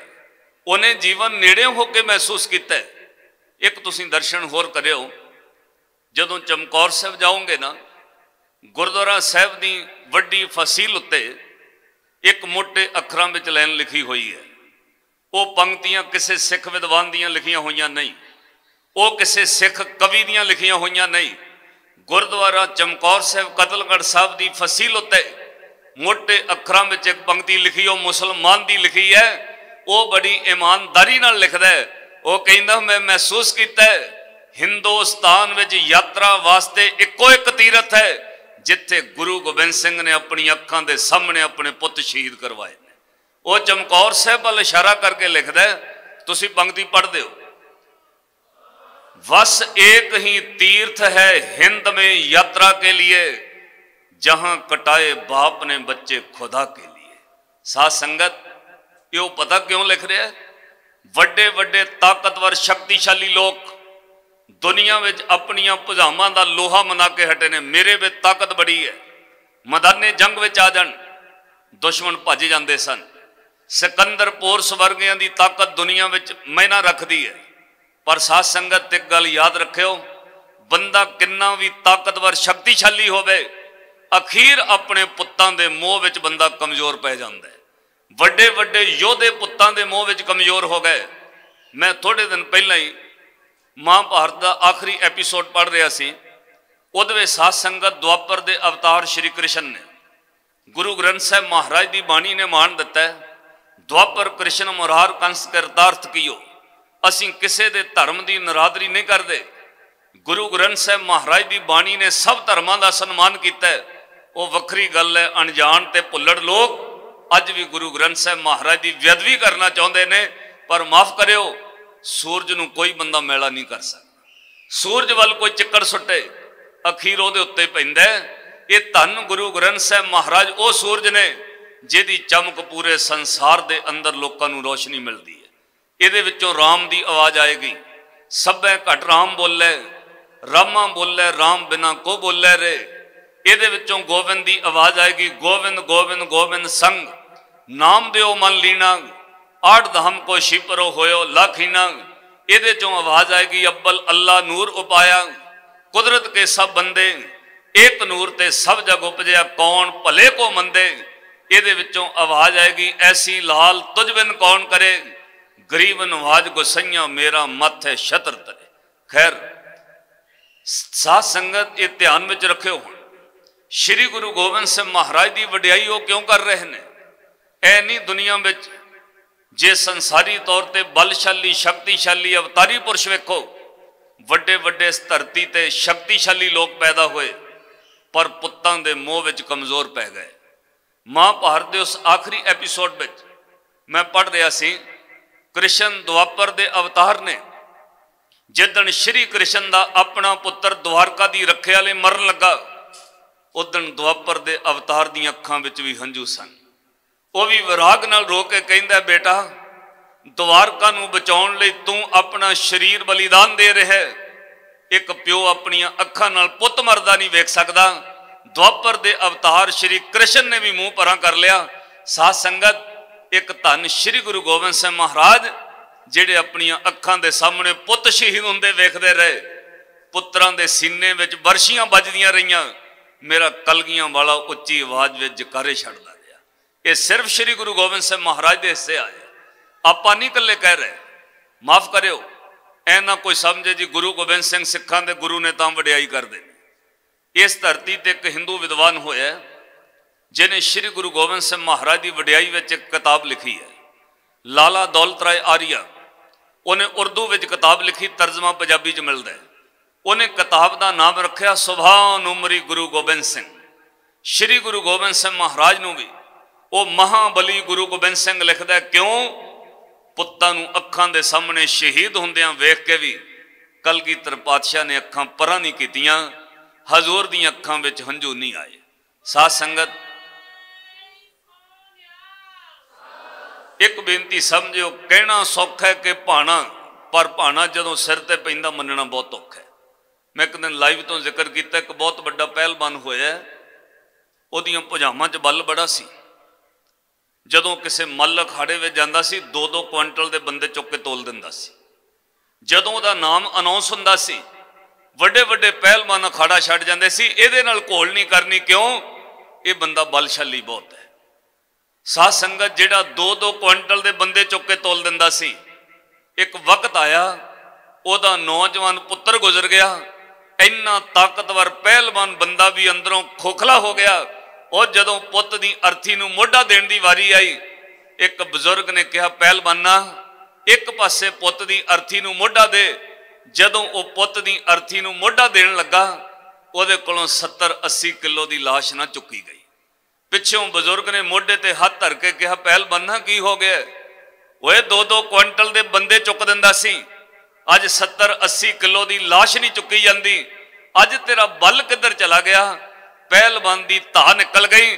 ਧਾ ਮਾਰ ਕੇ ਰੋ ਕੇ ਕਹਿੰਦਾ, ਬਜ਼ੁਰਗਾ 2-2 ਕੁਇੰਟਲ ਅਖਾੜਿਆਂ ਵਿੱਚ ਵਜਨ ਚੁੱਕਣਾ ਸੌਖ ਹੈ, ਪਰ ਪੁੱਤਾਂ ਦੀਆਂ ਲਾਸ਼ਾਂ ਚੁੱਕਣੀਆਂ ਬਹੁਤ ਔਖੀਆਂ ਨੇ। ਸਾਧ ਸੰਗਤ, ਇੱਕ ਸ੍ਰੀ ਗੁਰੂ ਗੋਬਿੰਦ ਸਿੰਘ ਮਹਾਰਾਜ ਨੇ ਅੱਜ ਕਲਗੀਧਰ ਪਾਤਸ਼ਾਹ ਨੇ ਚਮਕੌਰ ਦੀ ਗੜੀ ਤੋਂ ਸਭ ਕੁਝ ਅੱਖਾਂ ਨਾਲ ਵੇਖਿਆ ਜਦੋਂ ਪਾਤਸ਼ਾਹ ਦੇ ਵੱਡੇ ਸਹਿਬਜ਼ਾਦੇ ਬਾਬਾ ਅਜੀਤ ਸਿੰਘ ਮੈਦਾਨ ਵਿੱਚ ਆਏ ਨਾ, ਸਿੱਖ ਵਿਦਵਾਨ ਲਿਖਦੇ ਨੇ 18 ਸਾਲ ਦੀ ਉਮਰ ਹੈ, ਸਰੀਰ ਦਾ ਭਰਮਾ ਜੁੱਸਾ ਹੈ, ਦਾੜੀ ਉਤਰੀ ਹੋਈ ਹੈ ਪੁਜਾਮਾ 'ਚ ਬੱਲ ਹੈ। ਜਦੋਂ ਮਦਨ ਜੰਗ ਅੰਦਰ ਬਾਬਾ ਅਜੀਤ ਸਿੰਘ ਆਏ ਇੱਕ ਵਾਰ ਤੁਰਕਾਂ ਨੂੰ ਭੁਲੇਖਾ ਪੈ ਗਿਆ, ਸ਼ਾਇਦ ਗੁਰੂ ਗੋਬਿੰਦ ਸਿੰਘ ਮੈਦਾਨ ਵਿੱਚ ਆ ਗਏ ਨੇ। ਇੰਨੀ ਫੁਰਤੀ ਨਾਲ ਬਾਬਾ ਅਜੀਤ ਸਿੰਘ ਲੜੇ, ਸੈਂਕੜੇ ਤੁਰਕਾਂ ਦੇ ਆਹੂ ਲਾ ਦਿੱਤੇ, ਮੁਲਖਈਆ ਫੌਜ ਦੇ ਢੇਰ ਲਾਉਂਦੇ ਚਲੇ ਗਏ। ਉਹ ਤਾਂ ਕੁਝ ਘੜੀਆਂ ਤੋਂ ਬਾਅਦ ਪਤਾ ਲੱਗਾ, ਇਹ ਗੁਰੂ ਗੋਬਿੰਦ ਸਿੰਘ ਮਹਾਰਾਜ ਨਹੀਂ, ਇਹ ਗੁਰੂ ਗੋਬਿੰਦ ਸਿੰਘ ਦਾ ਵੱਡਾ ਫਰਜ਼ੰਦ ਬਾਬਾ ਅਜੀਤ ਸਿੰਘ ਹੈ। ਦੁਸ਼ਮਣ ਨੇ ਘੇਰਾ ਪਾ ਲਿਆ। ਸਾਧ ਸੰਗਤ ਘੇਰਾ ਪਾ ਕੇ ਦੂਰੋਂ ਨਿਜਿਆਂ ਦਾ ਬਾਹਰ ਕੀਤਾ। ਪੱਥੇ ਵਿੱਚੋਂ ਤੀਰ ਮੁੱਕ ਗਏ। ਘੋੜੇ ਤੋਂ ਨੇਜਿਆਂ ਦਾ ਬਾਹਰ ਕਰਕੇ ਸੁੱਟ ਲਿਆ। ਬਸ ਧਰਤੀ ਤੇ ਡਿਗੇ ਪਏ ਉੱਤੇ ਲਗਾਤਾਰ ਵਰਸ਼ੀਆਂ ਦੇ ਬਾਹਰ ਹੁੰਦੇ ਰਹੇ। ਇਤਿਹਾਸ ਕਹਿੰਦਾ ਇੱਕ ਔਰੰਗਜ਼ੇਬ ਦੇ ਮੌਕੇ ਦੇ ਉਸ ਵਕਤ ਖਬਰੀ ਨੇ ਲਿਖਿਆ ਜਿਹੜੀ ਉਹਨੇ ਖਬਰ ਔਰੰਗਜ਼ੇਬ ਨੂੰ ਦਿੱਤੀ। ਉਹਨੇ ਕਿਹਾ, ਗੁਰੂ ਗੋਬਿੰਦ ਸਿੰਘ ਮਹਾਰਾਜ ਦਾ ਪੁੱਤਰ, ਸਹਿਬਜ਼ਾਦਾ ਅਜੀਤ ਸਿੰਘ ਚਮਕੌਰ ਦੀ ਜੰਗ ਵਿੱਚ ਲੜਿਆ ਔਰੰਗਜ਼ੇਬ ਬਾਦਸ਼ਾਹ ਸਭ ਤੋਂ ਵੱਧ ਫਟ ਗੁਰੂ ਗੋਬਿੰਦ ਸਿੰਘ ਦੇ ਪੁੱਤ ਦੇ ਸਰੀਰ ਤੇ ਲੱਗੇ, ਸਭ ਤੋਂ ਵੱਧ ਵਰਸ਼ੀਆਂ ਬਾਬਾ ਅਜੀਤ ਸਿੰਘ ਦੇ ਵੱਜੀਆਂ 200 ਨਹੀਂ 300 ਤੋਂ ਵੱਧ ਵਰਸ਼ੀਆਂ ਸਰੀਰ ਵਿੱਚ ਵੱਜੀਆਂ, ਸਰੀਰ ਦੇ ਛਾਤੀ ਤੋਂ ਲੈ ਕੇ ਪੇਟ ਤੱਕ ਸਰੀਰ ਚੱਕ ਕਰਕੇ ਰੱਖ ਦਿੱਤਾ। ਪਰ ਸ੍ਰੀ ਗੁਰੂ ਗੋਬਿੰਦ ਸਿੰਘ ਮਹਾਰਾਜ ਕੱਚੀ ਗੜੀ ਚੋਂ ਜਕਾਰੇ ਛੱਡਦੇ ਰਹੇ। ਦੁਸ਼ਮਣ ਨੇ ਗੁਰੂ ਗੋਬਿੰਦ ਸਿੰਘ ਮਹਾਰਾਜ ਦਾ ਪੂਰਾ ਗੁੱਸਾ ਸਹਿਬਜ਼ਾਦਾ ਬਾਬਾ ਅਜੀਤ ਸਿੰਘ ਤੇ ਕੱਢਿਆ। ਉਸ ਤੋਂ ਬਾਅਦ ਇਤਿਹਾਸ ਕਹਿੰਦਾ ਹੈ 14 ਸਾਲ ਦੀ ਉਮਰ ਹੈ ਬਾਬਾ ਜੁਝਾਰ ਸਿੰਘ ਜੀ ਦੀ। ਤੁਸੀਂ ਪੁੱਤਾਂ ਵਾਲੇ ਬੈਠੇ ਹੋ, ਨਜ਼ਰ ਮਾਰਿਓ ਆਪਣੇ ਪਰਿਵਾਰਾਂ 'ਚ। 14 ਸਾਲ ਦਾ ਬੱਚਾ ਕਿੱਡਾ ਕੁ ਹੁੰਦਾ ਹੈ। ਬਾਬਾ ਜੁਝਾਰ ਸਿੰਘ 14 ਸਾਲ ਦੀ ਉਮਰ ਹੈ। ਪਿਤਾ ਸ੍ਰੀ ਗੁਰੂ ਗੋਬਿੰਦ ਸਿੰਘ ਮਹਾਰਾਜ ਤੋਂ ਆਗਿਆ ਮੰਗੀ। ਹਜ਼ੂਰ ਨੇ ਸ਼ਾਬਾਸ਼ ਕਹਿ ਕੇ ਕਿਹਾ, ਸਾਧ ਸਾਧ, ਸ਼ਾਬਾਸ਼। ਐ ਬਾਬਾ ਜੁਝਾਰ ਸਿੰਘ ਨੂੰ ਹਜ਼ੂਰ ਨੇ ਕਿਹਾ, ਬੇਟਾ ਜੁਝਾਰ ਸਿੰਘ ਤੂੰ ਆਪਣੇ ਪਿਤਾ ਦਾ ਸੀਸ ਅੱਜ ਹੋਰ ਉੱਚਾ ਕਰ ਦਿੱਤਾ। ਤੂੰ ਆਪਣੇ ਪਿਤਾ ਦੀ ਸ਼ਾਨ ਹੋਰ ਵਧਾਈ ਹੈ। ਮਦਨ ਜੰਗ ਵਿੱਚ ਚੱਲੇ ਉਹ ਜਿਹੜੇ ਸਵੇਰ ਤੋਂ ਗਏ ਨੇ, ਵਾਪਸ ਮੁੜੇ ਨਹੀਂ। ਜਿਹੜਾ ਜਾਂਦਾ ਉਹ ਸ਼ਹਾਦਤ ਦਾ ਜਾਮ ਪੀਂਦਾ ਪੁੱਤਰ ਸ਼ਹੀਦ ਤੂੰ ਵੀ ਹੋਣਾ ਪਰ ਸ਼ਹੀਦ ਹੋ ਕੇ ਮੇਰੀਆਂ ਨਜ਼ਰਾਂ ਵਿੱਚ ਪਰਵਾਨ ਨਹੀਂ। ਸਭ ਸਿੱਖ ਹੈਰਾਨ ਨੇ ਮਹਾਰਾਜ। ਸ਼ਹੀਦ ਹੋ ਕੇ ਪਰਵਾਨ ਕਿਉਂ ਨਹੀਂ? ਕਲਗੀ ਪਾਤਸ਼ਾਹ ਨੇ ਪੇਪਰ ਥੋੜਾ ਵਰੀਕ ਕਰ ਦਿੱਤਾ। ਹਜ਼ੂਰ ਕਹਿੰਦੇ ਨੇ, ਬਾਬਾ ਜੁਝਾਰ ਸਿੰਘ ਨੂੰ, ਬੇਟਾ ਜੁਝਾਰ ਸਿੰਘ, ਕੱਲਾ ਸ਼ਹੀਦ ਹੋ ਕੇ ਪਰਵਾਨ ਨਹੀਂ ਮੇਰੀਆਂ ਨਜ਼ਰਾਂ ਵਿੱਚ। ਬੇਟਾ, ਜੇ ਤੂੰ ਮੈਦਾਨ ਵਿੱਚ ਜਾ ਕੇ ਗੁਰੂ ਗੋਬਿੰਦ ਸਿੰਘ ਦੀ ਨਜ਼ਰ ਵਿੱਚ ਪਰਵਾਨ ਚੜਨਾ ਫਿਰ ਇੱਕ ਗੱਲ ਯਾਦ ਰੱਖੀ, ਆਪਣੇ ਵੱਡੇ ਵੀਰੇ ਅਜੀਤ ਸਿੰਘ ਤੋਂ ਅੱਗੇ ਜਾ ਕੇ ਡਿੱਗੀ, ਜੇ ਪਿੱਛੇ ਡਿੱਗ ਪਿਆ, ਗੁਰੂ ਗੋਬਿੰਦ ਸਿੰਘ ਦੀ ਨਜ਼ਰ ਵਿੱਚ ਫੇਲ ਹੋ ਜਾਏਗਾ। ਕਿੰਨੀ ਫੁਰਤੀ ਗੁਰੂ ਗੋਬਿੰਦ ਸਿੰਘ ਮਹਾਰਾਜ ਨੇ ਬਲ ਭਰਿਆ ਆਪਣੇ ਪੁੱਤਰ ਦੇ ਅੰਦਰ। ਇਹ ਜੋਸ਼ ਭਰਿਆ ਸ੍ਰੀ ਗੁਰੂ ਗੋਬਿੰਦ ਸਿੰਘ ਮਹਾਰਾਜ ਨੇ। ਮਦਨ ਜੰਗ ਅੰਦਰ ਇੱਕੋ ਟੀਚਾ ਮਿਥਿਆ ਬਸ ਮੈਂ ਦੁਸ਼ਮਣ ਦੇ ਆਹੂ ਲਾਉਂਦੇ ਉੱਥੇ ਤੱਕ ਪਹੁੰਚਣਾ ਜਿੱਥੇ ਵੱਡੇ ਭਰਾਤਾ ਬਾਬਾ ਅਜੀਤ ਸਿੰਘ ਸ਼ਹੀਦ ਹੋਏ ਸ੍ਰੀ ਗੁਰੂ ਗੋਬਿੰਦ ਸਿੰਘ ਮਹਾਰਾਜ ਰੀਜ ਨਾਲ ਵੇਖਦੇ ਰਹੇ। ਕਲਗੀਧਰ ਦਸ਼ਮੇਸ਼ ਪਿਤਾ ਨੇ ਮਦਾਨ ਵਿੱਚ ਕੋਈ ਤੀਰ ਵੀ ਚਲਾਏ ਨੇ। ਰਾਹ ਬਣਦਾ ਗਿਆ। ਬਾਬਾ ਜੁਝਾਰ ਸਿੰਘ ਮਦਨ ਨੇ ਜੰਗ ਅੰਦਰ ਜੂਝਦੇ ਰਹੇ। ਦੋਵੇਂ ਪਾਸੇ ਦੋ ਦੋ ਸਿੱਖ ਨਾਲ ਤੁਰਦੇ ਰਹੇ। ਸਾਧ ਸੰਗਤ ਇੱਕ ਇੱਕ ਕਰਕੇ ਚਾਰੇ ਸਿੰਘ ਸ਼ਹੀਦ ਹੋ ਗਏ। ਅਖੀਰ ਬਾਬਾ ਜੁਝਾਰ ਸਿੰਘ ਦੁਸ਼ਮਣ ਦੇ ਆਹੂ ਲਾਉਂਦਿਆਂ ਉਹ ਹੰਦੇ ਪਹੁੰਚ ਗਿਆ, ਜਿੱਥੇ ਬਾਬਾ ਅਜੀਤ ਸਿੰਘ ਜੀ ਦੀ লাশ ਪਈ ਸੀ। ਬਾਬਾ ਜੁਝਾਰ ਸਿੰਘ ਉੱਥੋਂ 10 ਕਦਮ ਅੱਗੇ ਟੱਪ ਗਏ। ਕਲਗੀਧਰ ਪਾਤਸ਼ਾਹ ਨੇ ਜਕਾਰਾ ਛੱਡਿਆ। ਮੇਰਾ ਪੁੱਤਰ ਅਜ ਸ਼ਹਾਦਤ ਵਿੱਚ ਪਾਸ ਹੋ ਗਿਆ ਸ੍ਰੀ ਗੁਰੂ ਗੋਬਿੰਦ ਸਿੰਘ ਮਹਾਰਾਜ ਨਜ਼ਰਾਂ ਭਰ ਕੇ ਖੁਸ਼ ਹੁੰਦੇ ਰਹੇ। ਨਾ ਪਾਤਸ਼ਾਹ ਦੇ ਚਿਹਰੇ ਤੇ ਕੋਈ ਉਦਾਸੀ ਸੀ ਨਾ ਮੱਥੇ ਤੇ ਕੋਈ ਸ਼ਿਕਵਾ ਸ਼ਿਕਨ ਸੀ, ਨਾ ਕਲਗੀਧਰ ਪਾਤਸ਼ਾਹ ਦੀਆਂ ਅੱਖਾਂ ਵਿੱਚ ਕੋਈ ਨਵੀਂ ਕੋਈ ਹੰਝੂ ਸੀ। ਪਾਤਸ਼ਾਹ ਉਸੇ ਤਰ੍ਹਾਂ ਵੇਖ ਕੇ ਖੁਸ਼ ਹੋ ਜਕਾਰਾ ਛੱਡਿਆ। ਗੁਰੂ ਦੇ ਸਿੱਖਾਂ ਦੇ ਅੰਦਰੋਂ ਦਿਲ ਨਿਕਲ ਗਿਆ ਦਾਤਿਆ। ਦੋ ਬਚੇ ਸਨ ਤੂੰ, ਉਹ ਵੀ ਕੁਰਬਾਨ ਕਰ ਦਿੱਤੇ। ਹੁਣ 11 ਸਿੱਖ ਕਲਗੀਧਰ ਪਾਤਸ਼ਾਹ ਕੋਲ ਰਹਿ ਗਏ। ਇਤਿਹਾਸ ਕਹਿੰਦਾ ਉਹਨਾਂ ਆਪਸ ਵਿੱਚ ਫੈਸਲਾ ਕੀਤਾ, ਗੁਰੂ ਨੂੰ ਇਸ ਧਰਤੀ ਤੇ ਸ਼ਹੀਦ ਹੋਣ ਤੋਂ ਰੋਕਣਾ ਪਏਗਾ। ਇੰਨੇ ਨੂੰ ਸੂਰਜ ਡੁੱਬਣ ਤੇ ਆ ਗਿਆ। ਕਲਗੀਧਰ ਪਾਤਸ਼ਾਹ ਸ੍ਰੀ ਗੁਰੂ ਗੋਬਿੰਦ ਸਿੰਘ ਮਹਾਰਾਜ ਮੈਦਾਨ ਵਿੱਚ ਜਾਣ ਦੀ ਤਿਆਰੀ ਕਰ ਰਹੇ ਸਨ। ਇੰਨੇ ਨੂੰ ਸਮਾਪਤੀ ਦਾ ਬਿਗਲ ਵੱਜਿਆ। ਸਾਧ ਸੰਗਤ, ਧੰਨ ਗੁਰੂ ਕਲਗੀਧਰ ਪਾਤਸ਼ਾਹ, ਜਿਵੇਂ ਚਮਕੌਰ ਦੀ ਧਰਤੀ ਤੇ ਸੂਰਜ ਡੁੱਬਿਆ, ਹਜ਼ੂਰ ਜੰਗ ਮੁੱਕਣ ਤੇ ਚੌਂਕੜਾ ਮਾਰ ਕੇ ਬਹਿ ਗਏ।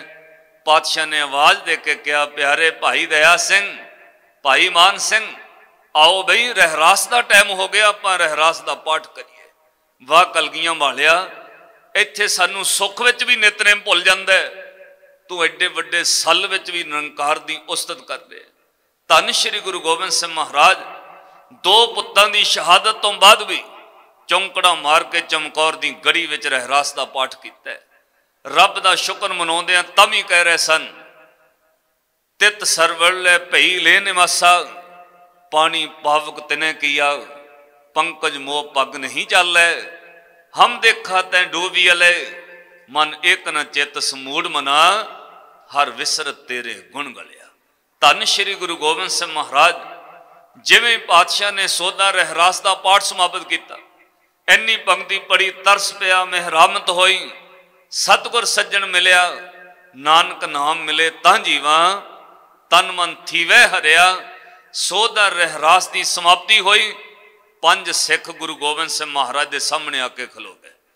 ਪੰਜਾਂ ਨੇ ਹੁਕਮ ਕਰਕੇ ਕਿਹਾ, ਕਲਗੀਧਰ ਪਾਤਸ਼ਾਹ, ਅਸੀਂ ਗੁਰਮਤਾ ਕੀਤਾ, ਪੰਥ ਤੁਹਾਨੂੰ ਹੁਕਮ ਕਰਦਾ, ਗੜੀ ਚਮਕੌਰ ਛੱਡ ਕੇ ਚਲੇ ਜਾਓ। ਧੰਨ ਸ੍ਰੀ ਗੁਰੂ ਗੋਬਿੰਦ ਸਿੰਘ ਮਹਾਰਾਜ ਨੇ ਪੰਜਾਂ ਕੇ ਹੱਥ ਜੋੜ ਕੇ ਸੀਸ ਝੁਕਾਇਆ। ਆ ਸਾਧ ਸੰਗਤ ਜਿਹੜੀ ਰਾਤ ਕੱਲ ਗੁਜਰੀ ਹੈ, ਕਲਗੀਧਰ ਪਾਤਸ਼ਾਹ ਨੇ ਅੱਧੀ ਰਾਤ ਨੂੰ ਚਮਕੌਰ ਦੀ ਗੜੀ ਛੱਡਣ ਲੱਗਿਆਂ ਪੈਰਾਂ ਵਿੱਚੋਂ ਜੋੜਾ ਲਾ ਦਿੱਤਾ। ਕਿਤੇ ਮੇਰਾ ਜੋੜੇ ਵਾਲਾ ਪੈਰ ਮੇਰੇ ਕਿਸੇ ਸਿੱਖ ਦੇ ਕੇਸਾਂ ਉੱਤੇ ਨਾ ਰੱਖਿਆ ਜਾਵੇ। ਕਿਸੇ ਸ਼ਹੀਦ ਦੀ ਸ਼ਹਾਦਤ ਉੱਤੇ ਮੈਲ ਨਾ ਲੱਗ ਜਾਏ। ਪਾਤਸ਼ਾਹ ਨੇ ਜੋੜਾ ਉਤਾਰਿਆ, ਸੀਸ ਤੋਂ ਕਲਗੀ ਲਾਈ, ਘੋੜਾ ਪੰਥ ਨੂੰ ਦੇ ਦਿੱਤਾ। ਧੰਨ ਸ਼੍ਰੀ ਗੁਰੂ ਗੋਬਿੰਦ ਸਾਹਿਬ ਮਹਾਰਾਜ, ਖਾਲੀ ਇੱਕ ਕਮਰ ਕਸੇ ਵਿੱਚ ਸ਼ਮਸ਼ੀਰ ਲੈ ਕੇ ਚਮਕੌਰ ਦੀ ਗੜੀ ਤੋਂ ਚੱਲੇ। ਨਾਲ ਪਾਤਸ਼ਾਹ ਦੇ ਤਿੰਨ ਸਿੱਖ ਮਿਸ਼ਾਲਾਂ ਚੁੱਕੀਆਂ ਨੇ ਮਗਰ ਮਗਰ ਤੁਰ ਪਏ। ਜਗਦੀ ਹੋਈ ਮਿਸ਼ਾਲ ਲੈ ਕੇ ਹਨੇਰੇ ਵਿੱਚ ਗਏ। ਕਤਲਗੜ ਸਾਹਿਬ ਤੋਂ ਥੋੜੀ ਸਾਧ ਸੰਗਤ 4-500 ਗੱਜ ਉੱਤੇ ਤੁਸੀਂ ਆਉਂਦੇ ਹੋ, ਦਰਸ਼ਨ ਕਰਦੇ ਹੋ। ਜਿੱਥੇ ਪਾਤਸ਼ਾਹ ਨੇ ਖਲੋ ਕੇ ਉੱਚੀ ਆਵਾਜ਼ ਵਿੱਚ ਤਿੰਨ ਵਾਰ ਤਾੜੀ ਮਾਰ ਕੇ ਕਿਹਾ, ਪੀਰੇ ਹਿੰਦ ਮੇ ਰਬਦ ਪੀਰੇ ਹਿੰਦ ਮੇ ਰਬਦ ਓਏ ਸਿੱਖਾਂ ਦਾ ਗੁਰੂ ਜਾ ਰਿਹਾ ਜਿਹਦੇ ਵਿੱਚ ਹਿੰਮਤ ਹੈ, ਰੋਕ ਲਓ। ਇਹ ਨਾ ਕਿਹੋ ਗੁਰੂ ਗੋਬਿੰਦ ਸਿੰਘ ਰਾਤ ਦੇ ਹਨੇਰੇ ਵਿੱਚ ਤੁਰ। ਪਾਤਸ਼ਾਹ ਨੇ ਤਿੰਨ ਵਾਰ ਤਾੜੀ ਮਾਰ ਕੇ ਆਵਾਜ਼ ਦਿੱਤੀ। ਇੱਕਦਮ ਦੁਸ਼ਮਣ ਦੀ ਫੌਜ ਵਿੱਚ ਹਲਾਹਲ ਮਚ ਗਈ। ਸਭ ਉੱਠ ਕੇ ਤੁਰ ਕੇ ਇੱਕਦਮ ਜੁਝਣ ਲੱਗੇ। ਸਾਧ ਸੰਗਤ, ਰਹਿੰਦੇ ਹੋਏ ਅੱਠ ਗੁਰੂ ਦੇ ਸਿੱਖ ਮੈਦਾਨੇ ਜੰਗ ਨਦਰ ਦੀ ਰਾਤ ਨੂੰ ਉਤਰ ਆਏ ਕਮਸਾਨ ਦੀ ਜੰਗ ਹੋਈ। ਕਲਗੀਧਰ ਪਾਤਸ਼ਾਹ ਪੰਥ ਦਾ ਹੁਕਮ ਮੰਨ ਕੇ ਤੁਰ ਪਏ। ਹਜ਼ਾਰਾਂ ਤੁਰਕੰਨਾ ਫੌਜ ਆਪਸ ਵਿੱਚ ਤੁਰਕ ਲੜ ਲੜ ਕੇ ਵੱਟ ਟੁੱਕ ਹੋ ਕੇ ਮਰਦੇ ਰਹੇ। ਸ੍ਰੀ ਗੁਰੂ ਗੋਬਿੰਦ ਸਿੰਘ ਮਹਾਰਾਜ ਮੈਦਾਨ ਵਿੱਚੋਂ ਲੰਘ ਰਹੇ ਸਨ। ਜਲਦੀ ਮਸ਼ਾਲ ਦੇ ਨਾਲ ਰੋਸ਼ਨੀ ਕਰਕੇ ਪਿਆਰੇ ਦਇਆ ਸਿੰਘ ਦੀ ਕੋਈ ਨਜ਼ਰ ਸੀ, ਜਿੱਥੇ ਗੁਰੂ ਗੋਬਿੰਦ ਸਿੰਘ ਦੇ ਲਾਲ ਸ਼ਹੀਦ ਹੋਏ ਨੇ। ਦੋਵਾਂ ਸਹਿਬਜ਼ਾਦਿਆਂ ਦਾ ਇੱਕ ਵਾਰ ਚਿਹਰਾ ਗੁਰੂ ਗੋਬਿੰਦ ਸਿੰਘ ਮਹਾਰਾਜ ਨੂੰ ਜ਼ਰੂਰ ਵਿਖਾਉਣਾ ਜਾਂਦੇ ਜਾਂਦੇ ਆਪਣੇ ਪੁੱਤਾਂ ਦਾ ਮੁਖ ਤਾਂ ਵੇਖ ਲੈਣ। ਹਰ ਬੰਦਾ ਚਾਹੁੰਦਾ ਹੈ ਕਿ ਆਖਰੀ ਵਾਰ ਕਿਸੇ ਦਾ ਮੂੰਹ ਜ਼ਰੂਰ ਆਪਣੇ ਦਾ ਵੇਖਿਆ ਜਾਵੇ। ਅੱਜ ਸ੍ਰੀ ਗੁਰੂ ਗੋਬਿੰਦ ਸਿੰਘ ਮਹਾਰਾਜ ਕਲਗੀਧਰ ਪਾਤਸ਼ਾਹ ਅੱਗੇ ਨੇ, ਜਿਵੇਂ ਹੀ ਪਿਆਰੇ ਦਇਆ ਸਿੰਘ ਨੇ ਮਿਸਾਲ ਦੀ ਲੋਕ ਕੀਤੀ, ਸਹਿਬਜ਼ਾਦਾ ਬਾਬਾ ਅਜੀਤ ਸਿੰਘ ਦਾ ਚਿਹਰਾ ਨਜ਼ਰ ਆਇਆ। ਗਲ ਤੋਂ ਲੈ ਕੇ ਪੇਟ ਤੱਕ ਬਰਸ਼ੀਆਂ ਨਾਲ ਬਿੰਨਿਆ ਪਿਆ ਸਰੀਰ, ਸਭ ਤੋਂ ਵੱਧ ਲਹੂ ਬਾਬਾ ਅਜੀਤ ਸਿੰਘ ਜੀ ਦਾ ਖੂਨ ਸ਼ਹੀਦਾਂ ਦੀ ਉਸ ਧਰਤੀ ਤੇ ਡੁੱਲਿਆ। ਚਮਕੌਰ ਸਾਹਿਬ ਦੇ ਸ਼ਹੀਦਾਂ ਵਿੱਚ ਸਭ ਤੋਂ ਵੱਧ ਲਹੂ ਬਾਬਾ ਅਜੀਤ ਸਿੰਘ ਦੇ ਸਰੀਰ ਦਾ ਡੁੱਲਿਆ। ਸਰੀਰ ਚਾਕ ਕਰ ਦਿੱਤਾ। ਸਾਧ ਸੰਗਤ ਸਿੱਖ ਵਿਦਵਾਨ ਲਿਖਦੇ ਨੇ, ਛਾਤੀ ਤੋਂ ਲੈ ਕੇ ਪੇਟ ਤੱਕ। ਧੰਨ ਗੁਰੂ ਗੋਬਿੰਦ ਸਿੰਘ ਮਹਾਰਾਜ ਦੇ ਉਸ ਲਖਤ ਦੇ ਜ਼ਿਕਰ ਫਰਜ਼ੰਦ ਬਾਬਾ ਅਜੀਤ ਸਿੰਘ ਦੇ ਸਾਧ ਸੰਗਤ ਸਰੀਰ ਦੀਆਂ ਬੋਟੀਆਂ ਬੋਟੀਆਂ ਕਰ ਦਿੱਤੀਆਂ। ਚਿਹਰਾ ਪਹਿਚਾਣਿਆ, ਕੋਲ ਹੋ ਕੇ ਪਿਆਰੇ ਦਇਆ ਸਿੰਘ ਨੇ ਰੋਸ਼ਨੀ ਕਰਕੇ ਕਿਹਾ, ਦਾਤਾ, ਇੱਕ ਵਾਰ ਆਪਣੇ ਪੁੱਤਾਂ ਦਾ ਮੂੰਹ ਤਾਂ ਵੇਖ ਜਾਓ। हे ਗੁਰੂ ਗੋਬਿੰਦ ਸਿੰਘ ਮਹਾਰਾਜ ਲੰਗ ਤਾਂ ਇੰਜ ਹੋ। ਜਿਵੇਂ ਕੁਝ ਹੋਇਆ ਹੀ ਨਾ ਹੋਵੇ। ਲੰਘ ਤਾਂ ਇੰਜ ਚੱਲਿਓ, ਜਿਵੇਂ ਤੁਹਾਡਾ ਕੁਝ ਗਵਾਚਿਆ ਹੀ ਨਾ ਹੋਵੇ। ਹੀਰਿਆਂ ਵਰਗੇ ਪੁੱਤ ਗਵਾ ਚੱਲੇ ਇੱਕ ਵਾਰ ਚਿਹਰਾ ਤਾਂ ਵੇਖ ਜਾ। ਸ੍ਰੀ ਗੁਰੂ ਗੋਬਿੰਦ ਸਿੰਘ ਮਹਾਰਾਜ ਨੇ ਨਜ਼ਰ ਭਰ ਕੇ ਆਪਣੇ ਦੋਵਾਂ ਪੁੱਤਾਂ ਦਾ ਚਿਹਰਾ ਵੇਖਿਆ ਛੋਟੀ 14 ਸਾਲ ਦੀ ਉਮਰ ਬਾਬਾ ਜੁਝਾਰ ਸਿੰਘ ਦਾ ਮੁਖ ਨੇ ਹਾਰਿਆ ਪਾਤਸ਼ਾਹ ਤੁਰਨ ਲੱਗੇ ਕਹਿੰਦੇ ਨੇ, ਦਇਆ ਸਿੰਘ, ਵੇਖ ਤਾਂ ਸਹੀ ਗੁਰੂ ਗੋਬਿੰਦ ਸਿੰਘ ਦੀਆਂ ਅੱਖਾਂ ਵਿੱਚ ਹੰਝੂ ਤਾਂ ਨਹੀਂ ਆਏ, ਦਇਆ ਸਿੰਘ ਦੀ ਧਾ ਨਿਕਲ ਗਈ। ਕਹਿਣ ਲੱਗਾ, ਦਾਤਾ, ਪਿਤਾ ਹੋਣ ਦਾ ਇੱਕ ਫਰਜ਼ ਜ਼ਰੂਰ ਨਿਭਾ ਕੇ ਜਾਇਓ। ਮਹਾਰਾਜ, ਜੇ ਪੁੱਤ ਦੇ ਰਹਿੰਦਿਆਂ ਪਿਓ ਗੁਜ਼ਰ ਜਾਏ, ਪੁੱਤਰ ਕਫਨ ਪਾਉਂਦਾ ਹੈ। ਪਾਤਸ਼ਾਹ, ਜੇ ਪੁੱਤਾਂ ਦੇ ਰਹਿੰਦਿਆਂ ਪਿਓ ਗੁਜ਼ਰ ਜਾਏ, ਪੁੱਤਰ ਕਫਨ ਪਾਉਂਦੇ ਨੇ, ਤੇ ਜੇ ਪਿਓ ਦੇ ਰਹਿੰਦਿਆਂ ਪੁੱਤ ਚਲਾ ਜਾਏ, ਫਿਰ ਪਿਓ ਦਾ ਫਰਜ਼ ਹੈ ਉਹ ਮੂੰਹ ਜ਼ਰੂਰ ਟੱਕਦਾ ਮਹਾਰਾਜ, ਕਫਨ ਪਾ ਕੇ ਜਾਇਓ। ਮੈਂ ਦਮਾਲਾ ਖੋਲ ਕੇ ਦਿੰਨਾ ਦੋ ਟੋਟੇ ਕਰਕੇ ਪੁੱਤਾਂ ਦਾ ਮੂੰਹ ਟੱਕ ਜਾਓ। ਕਦੇ ਤੇਰੇ ਪੁੱਤਾਂ ਕੋਲ ਪਸ਼ਮੀਨੇ ਦੀਆਂ ਪੋਸ਼ਾਕਾਂ ਪਿਸ਼ੌਰ ਤੋਂ ਆਉਂਦੀਆਂ ਸਨ। ਕਦੇ ਲਾਹੌਰ ਦੇ ਸਿੱਖ ਜ਼ਰੀਦਾਰ ਪੋਸ਼ਾਕਾਂ ਲਿਆਉਂਦੇ ਸਨ। ਅੱਜ ਤੇਰੇ ਪੁੱਤਾਂ ਦੀਆਂ ਲਾਸ਼ਾਂ ਬਿਨਾਂ ਕੱਪੜੇ ਤੋਂ ਪਈਆਂ ਨੇ। ਦਾਤਿਆ, ਦੋ ਟੋਟੇ ਕਰਕੇ ਕਫਨ ਪਾ ਜਾ। ਸ੍ਰੀ ਗੁਰੂ ਗੋਬਿੰਦ ਸਿੰਘ ਮਹਾਰਾਜ ਨੂੰ ਪਿਆਰੇ ਦਇਆ ਸਿੰਘ ਨੇ ਜਦੋਂ ਕਿਹਾ, ਪਾਤਸ਼ਾਹ, ਮੂੰਹ ਢੱਕ ਜਾਓ, ਕਫਨ ਪਾ ਜਾਓ। ਹਜ਼ੂਰ ਦੋ ਕਦਮ ਅਗਾਹ ਤੁਰ ਪਏ ਤੇ ਪਿੱਛੋਂ ਪਿਆਰੇ ਦਇਆ ਸਿੰਘ ਨੇ ਜਿਹੜੀ ਗੱਲ ਕਹੀ, ਉਹ ਕਿਸੇ ਵੀ ਪਿਓ ਦੇ ਦਿਲ ਤੇ ਟੱਕ ਪਾ ਸਕਦੀ ਸੀ। ਕਿਸੇ ਵੀ ਪਿਓ ਦੇ ਦਿਲ ਨੂੰ ਹਿਲਾ ਸਕਦੀ ਸੀ। ਪਿਆਰੇ ਦਇਆ ਸਿੰਘ ਨੇ ਕਿਹਾ, ਦੀਨ ਦੁਨੀ ਦੇ ਪਾਤਸ਼ਾਹ, ਤੂੰ ਤੇ ਦੀਨ ਦੁਨੀ ਦਾ ਉਹ ਦਾਤਾ ਹੈ, ਉਹ ਜਿਹਦੇ ਦਰ ਵਿੱਚ ਕੰਗਾਲ ਆਉਂਦੇ ਨੇ ਤੇ ਰਾਜੇ ਬਣ ਕੇ ਜਾਂਦੇ ਨੇ ਤੇਰੇ ਪੁੱਤਰਾਂ ਕੋਲ ਪਸ਼ਮੀਨੇ ਤੇ ਜਰੀ ਦੀਆਂ ਪੋਸ਼ਾਕਾਂ ਸਨ। ਅੱਜ ਬਿਨਾਂ ਕਫਣਾ ਤੋਂ ਲਾਸ਼ਾਂ ਪਈਆਂ ਨੇ। ਗਰੀਬ ਤੋਂ ਗਰੀਬ ਬੰਦਾ ਵੀ ਹੋਵੇ, ਦਾਤਿਆ ਉਹਦੇ ਪੁੱਤ ਨੂੰ ਵੀ ਕਫਨ ਨਸੀਬ ਹੋ ਜਾਂਦਾ ਇਸ ਧਰਤੀ ਤੇ ਗਰੀਬ ਤੋਂ ਗਰੀਬ ਲੋਕ ਪਏ ਨੇ। ਗਰੀਬ ਤੋਂ ਗਰੀਬ ਬੰਦਿਆਂ ਦੀ ਔਲਾਦ ਨੂੰ ਵੀ ਦਾਤਿਆ ਕਫਨ ਜ਼ਰੂਰ ਮਿਲਦਾ ਹੈ ਅਖੀਰ ਵਿੱਚ। ਤੂੰ ਦੀਨ ਦੁਨੀ ਦਾ ਸ਼ਹਿਨशाह ਤੇਰੇ ਪੁੱਤਾਂ ਨੂੰ ਕਫਨ ਵੀ ਨਸੀਬ ਨਹੀਂ। ਜਿਹੜੀ ਗੱਲ ਪਿਆਰੇ ਦਇਆ ਸਿੰਘ ਨੇ ਕਹੀ ਗਿਆਨੀ ਚਰਨ ਸਿੰਘ ਸਫਰੀ ਸਾਹਿਬ ਲਿਖਦੇ ਨੇ, ਕਹਿੰਦੇ ਦਇਆ ਸਿੰਘ ਨੇ ਦਿਲ ਭਰ ਕੇ ਗੁਰੂ ਗੋਬਿੰਦ ਸਿੰਘ ਮਹਾਰਾਜ ਵੱਲ ਕਿਹਾ, ਐਂ ਲੱਗਾ ਜਿਵੇਂ ਪਿਓ ਦਾ ਦਿਲ ਅੰਦਰੋਂ ਹਲਾਤਾ ਹੋਵੇ। ਪਿਆਰੇ ਦਇਆ ਸਿੰਘ ਬੋਲੇ, ਕਹਿੰਦੇ, ਗਰੀਬ ਤੋਂ ਗਰੀਬ ਮਾਪੇ ਜਗ ਵਿੱਚ ਪਏ ਨੇ, ਕਫਨੋਂ ਦਸ ਕੀਦੇ ਪੁੱਤ ਗਏ ਨੇ। ਗਰੀਬ ਤੋਂ ਗਰੀਬ ਮਾਪੇ। ਜਦੋਂ ਹਜ਼ੂਰ ਨੇ ਇਹ ਗੱਲ ਸੁਣੀ, ਸਾਹਿਬ ਨੇ ਕਿਹਾ, ਰਹਿਣ ਦਿਓ ਦਇਆ ਸਿੰਘ, ਸ਼ਹੀਦਾਂ ਦੀਆਂ ਲਾਸ਼ਾਂ ਕਫਨਾਂ ਦੀਆਂ ਮੁਤਾਜ ਨਹੀਂ ਹੁੰਦੀਆਂ। ਸ਼ਹੀਦਾਂ ਦੀਆਂ ਲਾਸ਼ਾਂ ਕਫਨਾਂ ਦੀਆਂ ਮੁਤਾਜ ਨਹੀਂ ਹੁੰਦੀਆਂ। ਇਹਨਾਂ ਨੂੰ ਕਫਨ ਦੀ ਲੋੜ ਨਹੀਂ। ਹਜ਼ੂਰ ਦੋ ਕਦਮ ਅੱਗੇ ਤੁਰੇ ਦਇਆ ਸਿੰਘ ਨੇ ਦਿਲ ਭਰ ਕੇ ਇੱਕ ਮੀਣਾ ਹੋਰ ਮਾਰ ਦਿੱਤਾ। ਪਿਆਰ ਵਿੱਚ ਆ ਕੇ ਕਹਿੰਦੇ ਨੇ हे ਗੁਰੂ ਗੋਬਿੰਦ ਸਿੰਘ ਮਹਾਰਾਜ, ਕਿਹੜੀ ਗੱਲ ਪਿੱਛੇ ਲੱਗਾ ਹੋਇਆ ਹੈ? ਤੇਰਾ ਬਚਿਆ ਹੀ ਕੁਝ ਨਹੀਂ। ਚੌਂ ਪੁੱਤਰਾਂ ਚੋਂ ਦੋ ਦੀ ਖਬਰ ਨਹੀਂ, ਦੋ ਸ਼ਹੀਦ ਕਰਾ ਚੱਲੇ ਤੇਰੇ ਪਰਿਵਾਰ ਦਾ ਕੋਈ ਜੀ ਅੱਜ ਤੇਰੇ ਨਾਲ ਨਹੀਂ। ਕਲਗੀਆਂ ਵਾਲਿਆ, ਤੇਰਾ ਸਭ ਕੁਝ ਵਿਛੜ ਗਿਆ ਕਿਹੜੀ ਗੱਲ ਪਿੱਛੇ ਲੱਗਾ ਹੋਇਆ ਆ ਪੁੱਤਾਂ ਦਾ ਮੂੰਹ ਢਕਣ ਤੋਂ ਵੀ ਮੂੰਹ ਫੇਰ ਲਿਆ ਪਾਤਸ਼ਾਹ ਕਫਨ ਪਾਉਣ ਤੋਂ ਵੀ ਮੂੰਹ ਫੇਰ ਕੇ ਤੁਰ ਪਏ ਧੰਨ ਸ਼੍ਰੀ ਗੁਰੂ ਗੋਬਿੰਦ ਸਿੰਘ ਮਹਾਰਾਜ ਨੂੰ ਪਿਆਰੇ ਦਇਆ ਸਿੰਘ ਨੇ ਗੱਲ ਪਿਆਰ ਵਿੱਚ ਭਿੱਜ ਕੇ ਕਹੀ। ਕਹਿੰਦੇ, ਕੀ ਹੋ ਗਿਆ ਏ ਦਾਤਾ ਤੈਨੂੰ? ਕੀ ਹੋ ਗਿਆ ਏ ਦਾਤਾ ਤੈਨੂੰ? ਉਹ ਪਿਆ ਕਿਹੜੀ ਗੱਲ ਦੇ ਦੀ ਪੀੜ ਤਾਂ ਪਖੇਰੋ ਵੀ ਨਹੀਂ ਚੱਲਦੇ। ਪੁੱਤਾਂ ਦੀ ਪੀੜ ਤਾਂ ਪੰਛੀਆਂ ਤੋਂ ਵੀ ਨਹੀਂ ਚੱਲ ਹੁੰਦੀ, ਤੂੰ ਕਿਵੇਂ ਚੱਲ ਗਿਆ? हे ਗੁਰੂ ਗੋਬਿੰਦ ਸਿੰਘ ਮਹਾਰਾਜ, ਕੀ ਹੋ ਗਿਆ ਏ ਦਾਤਾ ਤੈਨੂੰ? ਪਿੱਛੇ ਪਿਆ ਕਿਹੜੀ ਗੱਲ ਦੇ? ਪੁੱਤਰਾਂ ਦੀ ਪੀੜ ਤਾਂ ਪਖੇਰੂ ਵੀ ਨਹੀਂ ਚੱਲਦੇ। ਪੰਛੀਆਂ ਤੋਂ ਵੀ ਪੁੱਤਾਂ ਦਾ ਦੁੱਖ ਨਹੀਂ ਝੱਲਿਆ ਜਾਂਦਾ। ਦਾਤੇ, ਤੂੰ ਕਿਵੇਂ ਝੱਲ ਗਿਆ ਸ੍ਰੀ ਗੁਰੂ ਗੋਬਿੰਦ ਸਿੰਘ ਮਹਾਰਾਜ ਬਸ ਅਗਾਹ ਤੁਰ ਪਏ, ਪਿਛਾਂ ਪਰਤ ਕੇ ਨਾ ਵੇਖਿਆ। ਦਇਆ ਸਿੰਘ ਜੀ ਨੇ ਬਰਾਬਰ ਹੋ ਕੇ ਇੱਕ ਗੱਲ ਕਹੀ।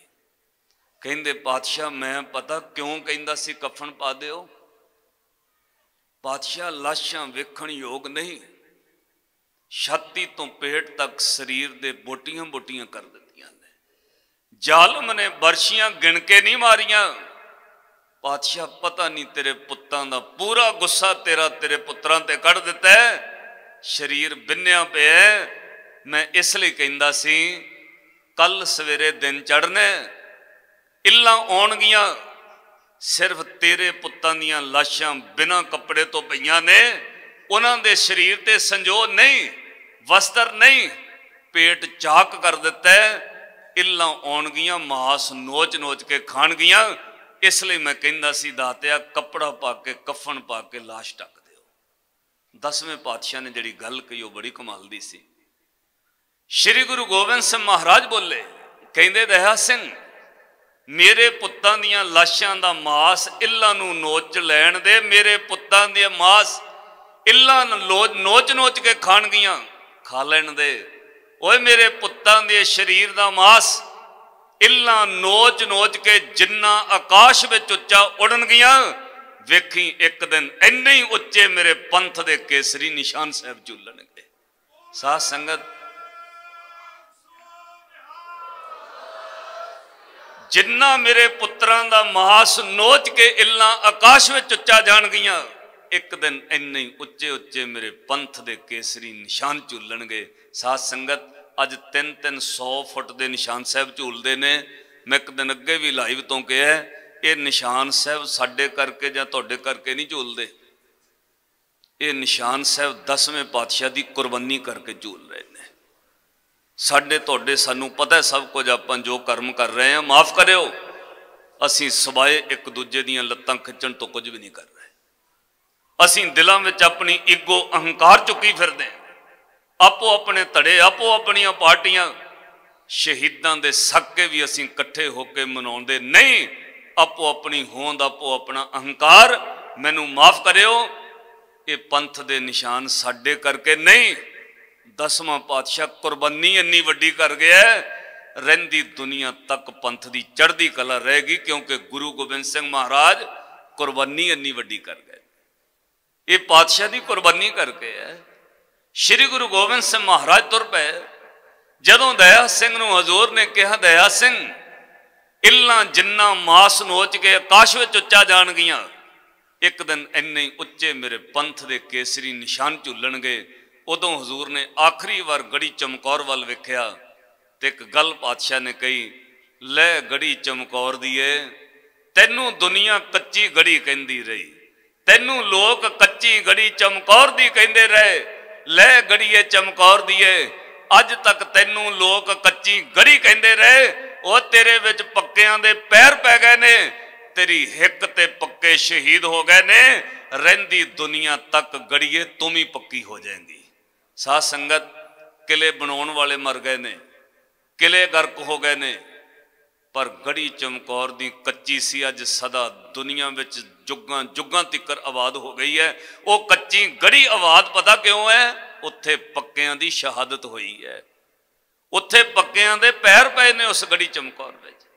ਤਾਂ ਉਹ ਕੱਚੀ ਵੀ ਅੱਜ ਸਦੀਆਂ ਵਾਸਤੇ ਪੱਕੀ ਹੋ ਗਈ, ਜੁਗਾਂ ਵਾਸਤੇ ਪੱਕੀ ਹੋ ਗਈ। ਦਸਵੇਂ ਪਾਤਸ਼ਾਹ ਨੇ ਤੁਰਨ ਲੱਗਿਆ ਆਖਰੀ ਗੱਲ ਗੜੀ ਚਮਕੌਰ ਵੱਲ ਵੇਖ ਕੇ ਕਹੀ ਹੈ, ਉਹਨੂੰ ਪੰਜਾਬੀ ਦਾ ਵਿਦਵਾਨ ਲਿਖਦਾ ਹੈ। ਉਹ ਕਹਿੰਦਾ, ਹਜ਼ੂਰ ਨੇ ਕਿਹਾ ਗੜੀਏ ਤੋਂ ਇਤਿਹਾਸ ਬਣਨਾ ਹੈ।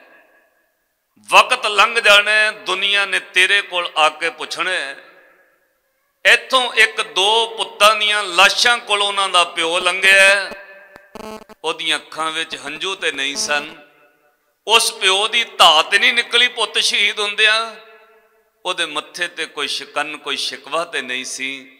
ਉਹਦੇ ਚਿਹਰੇ ਤੇ ਕੋਈ ਉਦਾਸੀ ਤੇ ਨਹੀਂ ਸੀ। ਲੈ ਗੜੀਏ, ਵੇਖ ਲੈ ਤੂੰ ਇਤਿਹਾਸ ਬਣਨਾ। ਜਿਹੜੀ ਗੱਲ ਹਜ਼ੂਰ ਨੇ ਕਹੀ, ਉਹਨੂੰ ਪੰਜਾਬੀ ਦਾ ਕਵੀ ਪ੍ਰੇਮ ਵਿੱਚ ਲਿਖਦਾ ਕਹਿੰਦੇ ਹਜ਼ੂਰ ਨੇ ਕਿਹਾ, ਗੜੀ ਵੱਲ ਵੇਖ ਕੇ, ਲੈ ਗੜੀਏ, ਵੇਖ ਲੈ ਹੱਸਦਾ ਜਾ ਰਿਆਂ ਗੜੀਏ, ਵੇਖ ਲੈ ਲੈ ਗੜੀਏ, ਵੇਖ ਲੈ ਹੱਸਦਾ ਜਾ ਰਿਹਾ। ਕਹਿ ਦੇਈ, ਸਮੇਂ ਨੂੰ ਮੱਥੇ ਨਹੀਂ ਵਟ ਮੇਰੇ। ਤੇਰੀ ਹਿੱਕ ਤੇ ਅਜੀਤ ਜੁਝਾਰ ਸੌ ਗਏ ਪੁੱਤਰ ਸੋਲ ਜੋ ਰੇਸ਼ਮੀ ਪਟ ਮੇਰੇ। ਕਫਨ ਪਾਇਆ ਨੀ ਨਾ ਤੇ ਇਸ ਕਰਕੇ ਕਿਉਂਕਿ ਸਿੰਘ ਨੀ ਨਾ ਤੋਂ ਘਟ ਮੇਰੇ, ਉਹ ਰੋਕ ਸਕੇ ਨਾ ਮੇਰੀ ਮੁਸਕਾਨ ਤਾਈ। ਲੱਗੇ ਜਿਗਰ ਦੇ ਵਿੱਚ ਜੋ ਫਟ ਮੇਰੇ। ਪੁੱਤ ਮਰਨ ਦਾ ਫਟ ਤੇ ਲੱਗਾ ਗੁਰੂ ਗੋਬਿੰਦ ਸਿੰਘ ਮਹਾਰਾਜ। ਐ ਨਹੀਂ ਹੋ ਸਕਦਾ। ਪਰ ਪਾਤਸ਼ਾਹ ਕਹਿੰਦੇ ਉਸ ਫਟ ਨਾਲ ਮੈਨੂੰ ਉਦਾਸੀ ਨਹੀਂ ਹੋਈ। ਮੇਰੇ ਅੰਦਰ ਦੇ ਬਲ ਨੂੰ ਨਹੀਂ ਉਦਾਸੀ ਰੋਕ ਸਕੀ। ਪੁੱਤਰ ਜਾਣ ਦਾ ਸੱਲ ਮੇਰੇ ਅੰਦਰ ਦੀ ਤਾਕਤ ਨੂੰ ਨਹੀਂ ਰੋਕ ਸਕਿਆ, ਮੇਰੇ ਅੰਦਰ ਦੇ ਜਨੂਨ ਨੂੰ ਨਹੀਂ ਰੋਕ ਸਕਿਆ। ਦਸਵੇਂ ਪਾਤਸ਼ਾਹ ਬੇਪਰਵਾਹ ਹੋ ਕੇ ਗੜੀ ਚਮਕੌਰ ਤੋਂ ਚੱਲ ਪਏ ਔਰ ਹਜ਼ੂਰ ਨੇ ਤੁਰਨ ਲੱਗਿਆਂ ਕਿਹਾ, ਦਇਆ ਸਿੰਘ, ਜੇ ਜਿਉਂਦੇ ਰਹੇ ਤਾਂ ਮਿਲਾਂਗੇ। ਤਾਰਿਆਂ ਦੀ ਸਿੱਧੇ ਲੈਂਦੇ ਵੱਲ ਆ ਜਿਓ। ਲੈਂਦੇ ਵੱਲ ਹੁਣ ਤੁਸੀਂ ਬੈਠੇ ਹੋ ਇੱਥੇ। ਤਾਰਿਆਂ ਦੀ ਸਿੱਧੇ ਲੈਂਦੇ ਵੱਲ ਆ ਜਿਓ। ਉਦੋਂ ਘੜੀਆਂ ਤੇ ਕਲੌਕ ਨਹੀਂ ਸੀ ਹੁੰਦੇ ਟਾਈਮ ਵੇਖਣ ਵਾਲੇ। ਅੱਜ ਵੀ ਤੁਹਾਡੇ ਸਿਆਣੇ ਬੰਦੇ ਬਜ਼ੁਰਗ ਬੈਠੇ ਨੇ। ਅਸੀਂ ਵੀ ਬਜ਼ੁਰਗਾਂ ਕੋਲੋਂ ਸਿੱਖਿਆ ਟਾਈਮ ਵੇਖਣਾ ਹੋਵੇ, ਆਕਾਸ਼ ਵੱਲ ਵੇਖਿਓ, ਤਿੰਨ ਜਿਹੜੇ ਤਾਰੇ ਇੱਕੋ ਹੀ ਲਾਈਨ ਵਿੱਚ ਤੁਹਾਨੂੰ ਨਜ਼ਰ ਆਉਣਗੇ ਨਾ, ਉਹ ਟਾਈਮ ਦੱਸਦੇ ਨੇ। ਪਾਤਸ਼ਾਹ ਨੇ ਕਿਹਾ, ਤਾਰਿਆਂ ਦੀ ਸਿੱਧੇ ਲੈਂਦੇ ਵੱਲ ਆ ਜਿਓ। ਜਿਵੇਂ ਜਿਵੇਂ ਉਹ ਤਿੰਨ ਤਾਰੇ ਲੈਂਦੇ ਵੱਲ ਜਾਣਗੇ, ਉਸ ਦਿਸ਼ਾ ਵੱਲ ਜੇ ਜਿਉਂਦੇ ਰਹੇ ਤਾਂ ਮਿਲਾਂਗੇ। ਕਲਗੀਧਰ ਪਾਤਸ਼ਾਹ ਬੇਪਰਵਾਹ ਹੋ ਕੇ ਤੁਰ ਪਏ। ਜਦੋਂ ਚਮਕੌਰ ਸਾਹਿਬ ਤੋਂ ਚੱਲੇ ਨਾ ਹੁਣ ਵੇਖਿਓ, ਐਵੇਂ ਨਹੀਂ ਲੋਕ ਕਹਿੰਦੇ, ਸੁਭਾਨ ਉਮਰੀ ਗੁਰੂ ਗੋਬਿੰਦ ਸਿੰਘ, ਬਲ ਹੈ ਤਾਂ ਦੁਨੀਆ ਨਮਸਕਾਰ ਕਰਦੀ ਹੈ। ਜਦੋਂ ਪਾਤਸ਼ਾਹ ਚਮਕੌਰ ਤੋਂ ਚੱਲ ਕੇ 3-4 ਮੀਲ ਲੱਗੇ ਆਏ ਨਾ, ਚਲਦਿਆਂ ਚਲਦਿਆਂ ਅੱਧੀ ਰਾਤ ਤੋਂ ਦਿਨ ਚੜ ਗਿਆ ਸਵੇਰ ਦਾ। ਪੈਦਲ ਚੱਲਦੇ ਰਹੇ, ਪੈਰਾਂ ਵਿੱਚ ਜੋੜਾ ਨਹੀਂ। ਹਜ਼ੂਰ ਦੇ ਪੈਰ ਕੰਡਿਆਂ ਨਾਲ ਬਿੰਨੇ ਗਏ। ਜਰੀਦਾਰ ਪਹਿਨਿਆ ਹੋਇਆ ਚੋਲਾ ਬੇਰੀਆਂ ਤੇ ਝਾੜੀਆਂ 'ਚ ਫਸ ਕੇ ਕਈਆਂ ਥਾਵਾਂ ਤੋਂ ਟੱਕੀਆਂ ਲੱਥ ਗਈਆਂ। ਧੰਨ ਸ਼੍ਰੀ ਗੁਰੂ ਗੋਬਿੰਦ ਸਿੰਘ ਮਹਾਰਾਜ, ਅੱਜ ਦਰਵੇਸ਼ੀ ਦੀ ਹਾਲਤ ਵਿੱਚ ਮਾਛੀਵਾੜਾ ਸਾਹਿਬ ਵੱਲ ਆ ਰਹੇ ਨੇ। ਮਾਛੀਵਾੜੇ ਦੀ ਧਰਤੀ ਵੱਲ ਤੁਰੇ ਆਉਂਦੇ ਨੇ। ਸ਼੍ਰੀ ਗੁਰੂ ਗੋਬਿੰਦ ਸਿੰਘ ਮਹਾਰਾਜ ਨੂੰ ਜਿਹੜੇ ਪਿੰਡ ਦੇ ਲਾਗੇ ਆ ਕੇ ਦਿਨ ਚੜਿਆ ਨਾ ਥੋੜਾ ਜਿਹਾ ਰਵਾਲਾ ਹੋਇਆ, ਅਜੇ ਸੂਰਜ ਦੀ ਲੋ ਨਹੀਂ ਲੱਗੀ। ਹਵਾ ਵਗੀ ਹੈ ਹਲਕਾ ਜਿਹਾ ਮੀਂਹ ਪਿਆ ਧੁੰਦ ਹਟ ਗਈ ਹੈ, ਦਿਨ ਦਾ ਚੜਾ ਹੋ ਗਿਆ ਸ਼੍ਰੀ ਗੁਰੂ ਗੋਬਿੰਦ ਸਿੰਘ ਮਹਾਰਾਜ ਉਸ ਪਿੰਡ ਦੇ ਬਾਹਰੋਂ ਬਾਹਰੋਂ ਲੰਘ ਰਹੇ ਨੇ। ਉਸੇ ਪਿੰਡ ਦੇ ਦੋ ਗੁੱਜਰਾਂ ਨੇ ਪਸ਼ੂਆਂ ਦਾ ਵੱਗ ਚਰਨਾ ਛੱਡਿਆ। ਉਹ ਪਿੰਡ ਦਾ ਨਾਮ ਹੈ ਕੀੜੀ ਪਿੰਡ। ਅਲਫੂ ਤੇ ਗਾਮੂ ਪਸ਼ੂਆਂ ਦਾ ਵੱਗ ਛੱਡਦੇ ਨੇ। ਇੱਕ ਭਰਾ ਨੇ ਵੇਖ ਕੇ ਦੂਜੇ ਭਰਾ ਨੂੰ ਕਿਹਾ, ਉਹ ਗਾਮੂ, ਉਹ ਵੇਖੋ ਲੱਗਦਾ ਗੁਰੂ ਗੋਬਿੰਦ ਸਿੰਘ ਜਾ ਰਹੇ ਨੇ। ਉਹਨੇ ਕਿਹਾ, ਤੈਨੂੰ ਕਿਵੇਂ ਪਤਾ ਹੈ? ਉਹ ਕਹਿੰਦਾ ਕਈ ਦਿਨਾਂ ਦਾ ਰੌਲਾ ਪੈਂਦਾ ਗੁਰੂ ਗੋਬਿੰਦ ਸਿੰਘ ਮਹਾਰਾਜ ਇਸ ਇਲਾਕੇ ਵਿੱਚ ਆਏ ਨੇ। ਸੁਣਿਆ ਗੜੀ ਚਮਕੌਰ ਵਿੱਚ ਘੇਰਾ ਪਿਆ ਹੋਇਆ ਕਹਿੰਦੇ ਨੇ ਬੜੀ ਕਮਸਾਨ ਦੀ ਜੰਗ ਮਚੀ ਹੈ। ਮੈਨੂੰ ਲੱਗਦਾ ਗੁਰੂ ਗੋਬਿੰਦ ਸਿੰਘ ਬਚ ਕੇ ਨਿਕਲ ਆਏ ਨੇ। ਆ ਗੁਰੂ ਗੋਬਿੰਦ ਸਿੰਘ ਮਹਾਰਾਜ ਨੂੰ ਘੇਰੀਏ ਤੇ ਪਕੜ ਕੇ ਗੁਰੂ ਗੋਬਿੰਦ ਸਿੰਘ ਨੂੰ ਸਰਹੰਦ ਦਈਏ ਤੇ ਇਨਾਮ ਪ੍ਰਾਪਤ ਕਰੀਏ।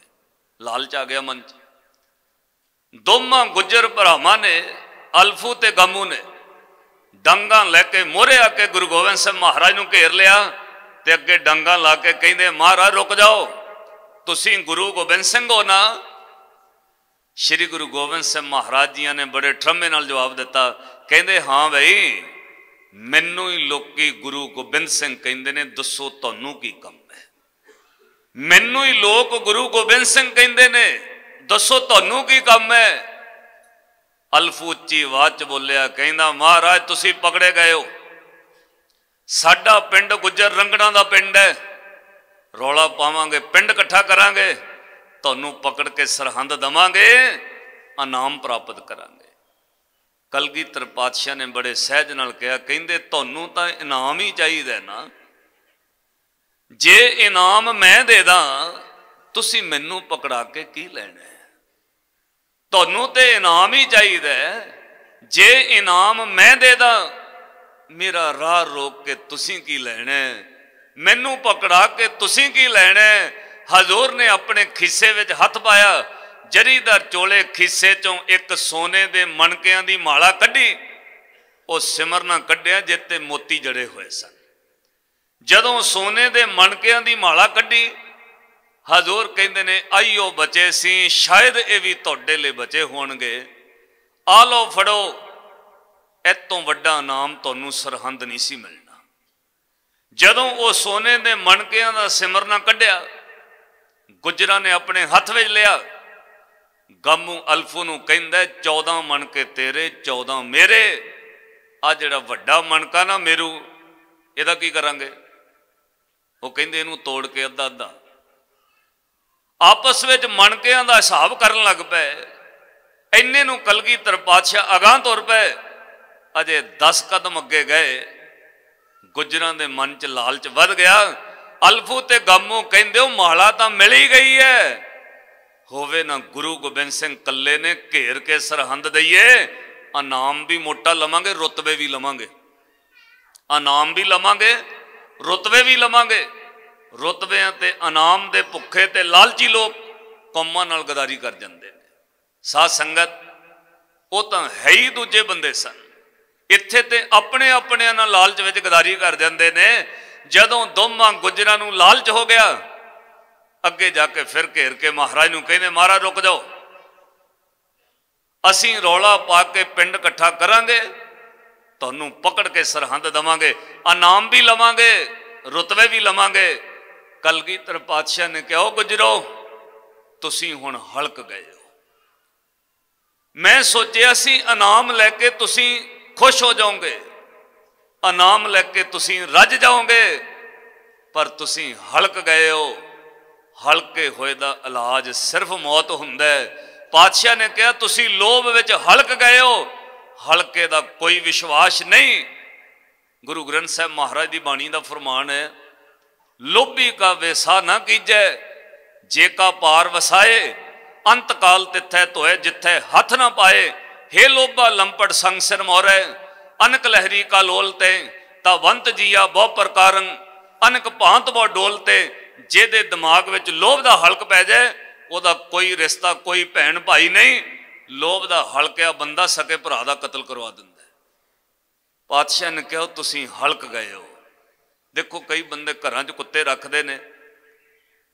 ਉਹਨੂੰ ਲੱਸੀ ਪਾਉਣਗੇ, ਦੁੱਧ ਪਾਉਣਗੇ, ਬ੍ਰੈਡ ਰੋਟੀ ਪਾਉਣਗੇ, ਜਿੱਦਣ ਕੁੱਤਾ ਹਲਕ ਜਾਂਦਾ ਹੈ ਨਾ ਉਦਣ ਮਾਫ ਕਰਿਓ, ਪਹਿਲਾਂ ਘਰਦਿਆਂ ਨੂੰ ਵੱਢਦਾ ਅੱਜ ਮੈਂ ਇੱਕ ਜਗ੍ਹਾ ਤੇ ਗਿਆ, ਜਦੋਂ ਇਹ ਕਥਾ ਥੋੜੀ ਜਿਹੀ ਸੰਖੇਪ ਵਿੱਚ ਕਹੀ, ਤਾਂ ਬੰਦੇ ਆ ਗਏ, ਉਹ ਕਹਿੰਦੇ, ਭਾਈ ਸਾਹਿਬ ਜੀ, ਹਲਕੇ ਬੰਦੇ ਦੀ ਸੱਚਮੁੱਚ ਬੜੀ ਬੁਰੀ ਹਾਲਤ ਹੈ। ਉਹ ਕਹਿੰਦੇ, ਸਾਡੇ ਇੱਥੇ ਘੁਮਿਆਰਾਂ ਦੀ ਘੋੜੀ ਹਲਕ ਗਈ। ਤਾਂ ਕਹਿੰਦੇ ਕੋਈ ਵੀ ਡਾਕਟਰ ਉਹਨੂੰ ਟੀਕਾ ਲਾਉਣ ਨਾ ਆਵੇ। ਕਿਉਂ? ਹਲਕਿਆ ਆ ਜੇ ਉਹਨੇ ਮੂੰਹ ਮਾਰ ਦਿੱਤਾ ਵੜ ਦਿੱਤਾ, ਦੰਦ ਮਾਰਤਾ, ਉਹ ਡਾਕਟਰ ਵੀ ਹਲਕਿਆ ਜਾਏਗਾ। ਕਹਿੰਦੇ ਉਹਦੇ ਨੇੜੇ ਕੋਈ ਟੀਕਾ ਲਾਉਣ ਨਾ ਜਾਵੇ। ਹਲਕ ਗਈ ਉਹ। ਤੇ ਮੈਂ ਉਹਨੂੰ ਕਿਹਾ, ਫਿਰ ਕੀ ਹਾਲਤ ਬਣੀ? ਉਹ ਕਹਿੰਦਾ, ਜੀ 10 20 ਬੰਦੇ ਫਿਰ ਲੰਬੀਆਂ ਡਾਂਗਾਂ ਲੈ ਕੇ ਆਏ। ਉਹਨੂੰ ਕੁੱਟ-ਕੁੱਟ ਕੇ ਡਾਂਗਾ ਮਾਰ-ਮਾਰ ਕੇ ਉਹਨੂੰ ਮਾਰਿਆ। ਉਹ ਹਲਕੀ ਹੋਈ ਸੀ। ਉਹਦੀ ਇੰਨੀ ਬੁਰੀ ਹਾਲਤ। ਅੱਜ ਸ੍ਰੀ ਗੁਰੂ ਗੋਬਿੰਦ ਸਿੰਘ ਮਹਾਰਾਜ ਨੇ ਕਿਹਾ, ਤੁਸੀਂ ਹਲਕ ਗਏ ਹੋ ਲੋਭ ਵਿੱਚ। ਜਿਹੜਾ ਲੋਭ ਵਿੱਚ ਹਲਕ ਜਾਏ, ਉਹਦਾ ਕੋਈ ਰਿਸ਼ਤਾ ਨਹੀਂ, ਉਹ ਕਦੇ ਨਹੀਂ ਰੱਜਦਾ। ਕਲਗੀਧਰ ਪਾਤਸ਼ਾਹ ਨੇ ਕਿਹਾ ਲੋ ਗੁਜਰੋ, ਤੁਸੀਂ ਹਲਕ ਗਏ ਹੋ। ਜੇ ਗੁਰੂ ਗੋਬਿੰਦ ਸਿੰਘ ਨੂੰ ਪਕੜਾਉਣਾ ਚਾਹੁੰਦੇ ਹੋ ਆ ਲਓ ਫਿਰ ਗੁਰੂ ਗੋਬਿੰਦ ਸਿੰਘ ਚੱਲਿਆ। ਜੇ ਤੁਹਾਡੇ ਵਿੱਚ ਹਿੰਮਤ ਹੈ, ਫਿਰ ਰੋਕ ਲਓ। ਕਲਗੀਧਰ ਪਾਤਸ਼ਾਹ ਦਾ ਬਲ ਵੇਖੋ। ਮੈਂ ਕਈ ਵਾਰ ਬੇਨਤੀ ਕਰਦਾ ਹੁੰਦਾ ਪੁੱਤ ਮਰਨਾ ਤਾਂ ਬਹੁਤ ਵੱਡੀ ਗੱਲ ਹੈ। ਸੱਜਣੋ, ਕਿਸੇ ਦਾ ਪੁੱਤ ਬਿਮਾਰ ਵੀ ਪੈ ਜਾਏ ਨਾ, ਬੰਦੇ ਦੇ ਸਰੀਰ 'ਚ ਤਾਕਤ ਨਹੀਂ ਰਹਿੰਦੀ। ਅੰਦਰੋਂ ਖੋਖਲਾ ਹੋ ਜਾਂਦਾ ਇਹ ਮੋਹ ਇਦਾਂ ਦੀ ਚੀਜ਼ ਹੈ। ਕਿਸੇ ਦਾ ਪੁੱਤ ਬਿਮਾਰ ਪੈ ਜਾਏ, ਸਰੀਰ ਖੋਖਲੇ ਹੋ ਜਾਂਦੇ ਨੇ, ਬਲ ਨਹੀਂ ਰਹਿੰਦਾ ਸਰੀਰ 'ਚ। ਸ਼੍ਰੀ ਗੁਰੂ ਗੋਬਿੰਦ ਸਿੰਘ ਮਹਾਰਾਜ ਦੋ ਦੋ ਪੁੱਤਾਂ ਦੀਆਂ ਲਾਸ਼ਾਂ ਕੋਲੋਂ ਲੰਘ ਕੇ ਆਏ।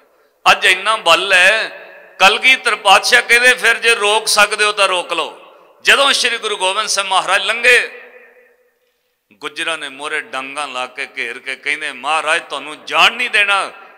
ਪਾਤਸ਼ਾਹ ਜਦੋਂ ਤੁਰਨ ਲੱਗੇ, ਉਹਨੇ ਡਾਂਗਾ ਦਾ ਭਰਮਾ ਬਾਹਰ ਕੀਤਾ। ਦਸਵੇਂ ਪਾਤਸ਼ਾਹ ਦੀ ਫੁਰਤੀ ਵੇਖਿਓ, ਇੱਕਦਮ ਪਾਤਸ਼ਾਹ ਨੇ ਆਪਣੀ ਸ਼ਮਸ਼ੀਰ ਕੱਢੀ। ਦੋਵਾਂ ਗੁੱਜਰਾਂ ਦੀ ਡਾਂਗ ਦਾ ਵਾਰ ਸ਼ਮਸ਼ੀਰ ਤੇ ਰੋਕ ਲਿਆ ਔਰ ਉਸ ਤੋਂ ਬਾਅਦ ਪਾਤਸ਼ਾਹ ਨੇ ਇੱਕੋ ਹੀ ਵਾਰ ਕੀਤਾ, ਇੰਨਾ ਭਰਮਾ ਵਾਰ ਕੀਤਾ। ਇੱਕੋ ਹੀ ਵਾਰ ਨਾਲ ਦੋਵੇਂ ਗੁੱਜਰ ਚੀਰ ਕੇ ਸੁੱਟ ਦਿੱਤੇ। ਔਰ ਪਾਤਸ਼ਾਹ ਨੇ ਦੋਮਾਂ ਨੂੰ ਚੀਰ ਕੇ ਸੁੱਟ ਕੇ ਕੋਈ ਗੱਲ ਕਹੀ, ਮੈਨੂੰ ਤੁਹਾਡੇ ਮਾਰਨ ਦਾ ਅਫਸੋਸ ਰਹੇਗਾ। ਮੈਂ ਤੁਹਾਨੂੰ ਮਾਰਨਾ ਨਹੀਂ ਸੀ ਚਾਹੁੰਦਾ। ਤੁਸੀਂ ਮੈਨੂੰ ਮਾਰਨ ਤੇ ਮਜਬੂਰ ਕੀਤਾ ਹੈ। ਮੈਂ ਤੁਹਾਨੂੰ ਮਾਰਨਾ ਨਹੀਂ ਸੀ ਚਾਹੁੰਦਾ। ਤੁਸੀਂ ਮੈਨੂੰ ਮਾਰਨ ਤੇ ਮਜਬੂਰ ਕੀਤਾ ਹੈ। ਤੁਹਾਡੀ ਮੌਤ ਦਾ ਮੈਨੂੰ ਅਫਸੋਸ ਰਹੇਗਾ। ਕਿਉਂ? ਮੇਰਾ ਤੁਹਾਡਾ ਵੈਰ ਨਹੀਂ ਸੀ ਕੋਈ ਵੀ। ਕਲਗੀਧਰ ਪਾਤਸ਼ਾਹ ਕਿਹੜੀ ਪਿੰਡ ਤੋਂ ਚੱਲਦੇ ਆਂ ਜੰਡ ਸਾਹਿਬ ਦੇ ਰਸਤੇ ਇਸ ਧਰਤੀ ਤੇ ਆਏ ਨੇ। ਇੱਥੇ ਤੱਕ ਆਉਂਦੇ ਆਉਂਦਿਆਂ ਹਜ਼ੂਰ ਨੂੰ ਸ਼ਾਮ ਪੈ ਗਈ, ਕਿਉਂਕਿ ਸਿੱਖ ਵਿਦਵਾਨ ਲਿਖਦੇ ਨੇ, ਪਾਤਸ਼ਾਹ ਨੇ ਰਾਹ ਬਦਲ ਕੇ ਝਾੜੀਆਂ ਵਿੱਚੋਂ ਜਿਹੜਾ ਰਸਤਾ ਮਿਲਿਆ ਉਸੇ ਰਸਤੇ ਤੁਰਦੇ ਰਹੇ। ਅਖੀਰ ਇਸ ਜਗ੍ਹਾ ਤੇ, ਜਿੱਥੇ ਚੌਧਰੀ ਗੁਲਾਬੇ ਤੇ ਪੰਜਾਬੇ ਦਾ ਖੂਹ ਹੈ ਉਹ ਖੂਹ ਅੱਜ ਵੀ ਮੌਜੂਦ ਹੈ, ਕਲਗੀਧਰ ਪਾਤਸ਼ਾਹ ਨੇ ਇੱਥੋਂ ਡੋਲ ਪਾਣੀ ਦਾ ਕੱਢ ਕੇ ਹੱਥ ਮੂੰਹ ਧੋਤਾ, ਦੋ ਘੁੱਟਾਂ ਪਾਣੀ ਪੀਤਾ ਹੈ। ਖੂਹ ਦੇ ਕੰਢੇ ਚੌਂਕੜਾ ਮਾਰ ਕੇ ਬਹਿ ਗਏ। ਸਿੱਧਾ ਰੱਬ ਨਾਲ ਗੱਲਾਂ ਕਰਦੇ ਨੇ, ਜਿਹੜੀਆਂ ਗੱਲਾਂ ਕਦੇ ਰਾਤ ਚਮਕੌਰ ਦੀ ਗੜੀ ਵਿੱਚ ਕੀਤੀਆਂ ਸਨ। ਕਰਤਾਰ ਸੇ ਕਹਤੇ ਥੇ ਗੋਇਆ ਰੂਬਰੂ ਹੋ ਕਰ ਕੱਲ ਜਾਊਂਗਾ ਚਮਕੌਰ ਸੇ ਮੈਂ ਸੁਰਖਰੂ ਹੋਕਰ ਅੱਜ ਉਹ ਗੱਲਾਂ ਰੱਬ ਨਾਲ ਕਰਦੇ ਨੇ ਮਿੱਤਰ ਪਿਆਰੇ ਨੂੰ। ਹਾਲ ਮਰੀਦਾਂ ਦਾ ਕਹਿਣਾ, ਜਾਰੜੇ ਦਾ ਸਾਨੂੰ ਸੱਥਰ ਚੰਗਾ ਪੱਠ ਖੇੜਿਆਂ ਦਾ ਰਹਿਣਾ।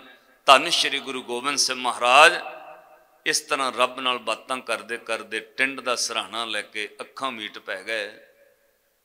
ਸੂਰਜ ਡੁੱਬਿਆ, ਰਹਿਰਾਸ ਦਾ ਵਕਤ ਹੋਇਆ। ਸ਼੍ਰੀ ਗੁਰੂ ਗੋਬਿੰਦ ਸਿੰਘ ਮਹਾਰਾਜ ਚੌਂਕੜਾ ਮਾਰ ਕੇ ਬੈਠ ਗਏ। ਕਿਉਂ? ਇਹਨਾਂ ਦਿਨਾਂ ਵਿੱਚ ਜਦੋਂ ਸੂਰਜ ਮਾੜਾ ਜਿਹਾ ਥੱਲੇ ਜਾਏ ਨਾ, ਠੰਡੀ ਹਵਾ ਸਰੀਰ ਨੂੰ ਚੀਰਨ ਲੱਗ ਪੈਂਦੀ ਜਿਵੇਂ ਹੀ ਸੂਰਜ ਉੱਲੇ ਹੋਇਆ, ਠੰਡੀ ਹਵਾ ਹਜ਼ੂਰ ਦੇ ਸਰੀਰ ਚੋਂ ਲੰਘ ਰਹੀ ਸੀ।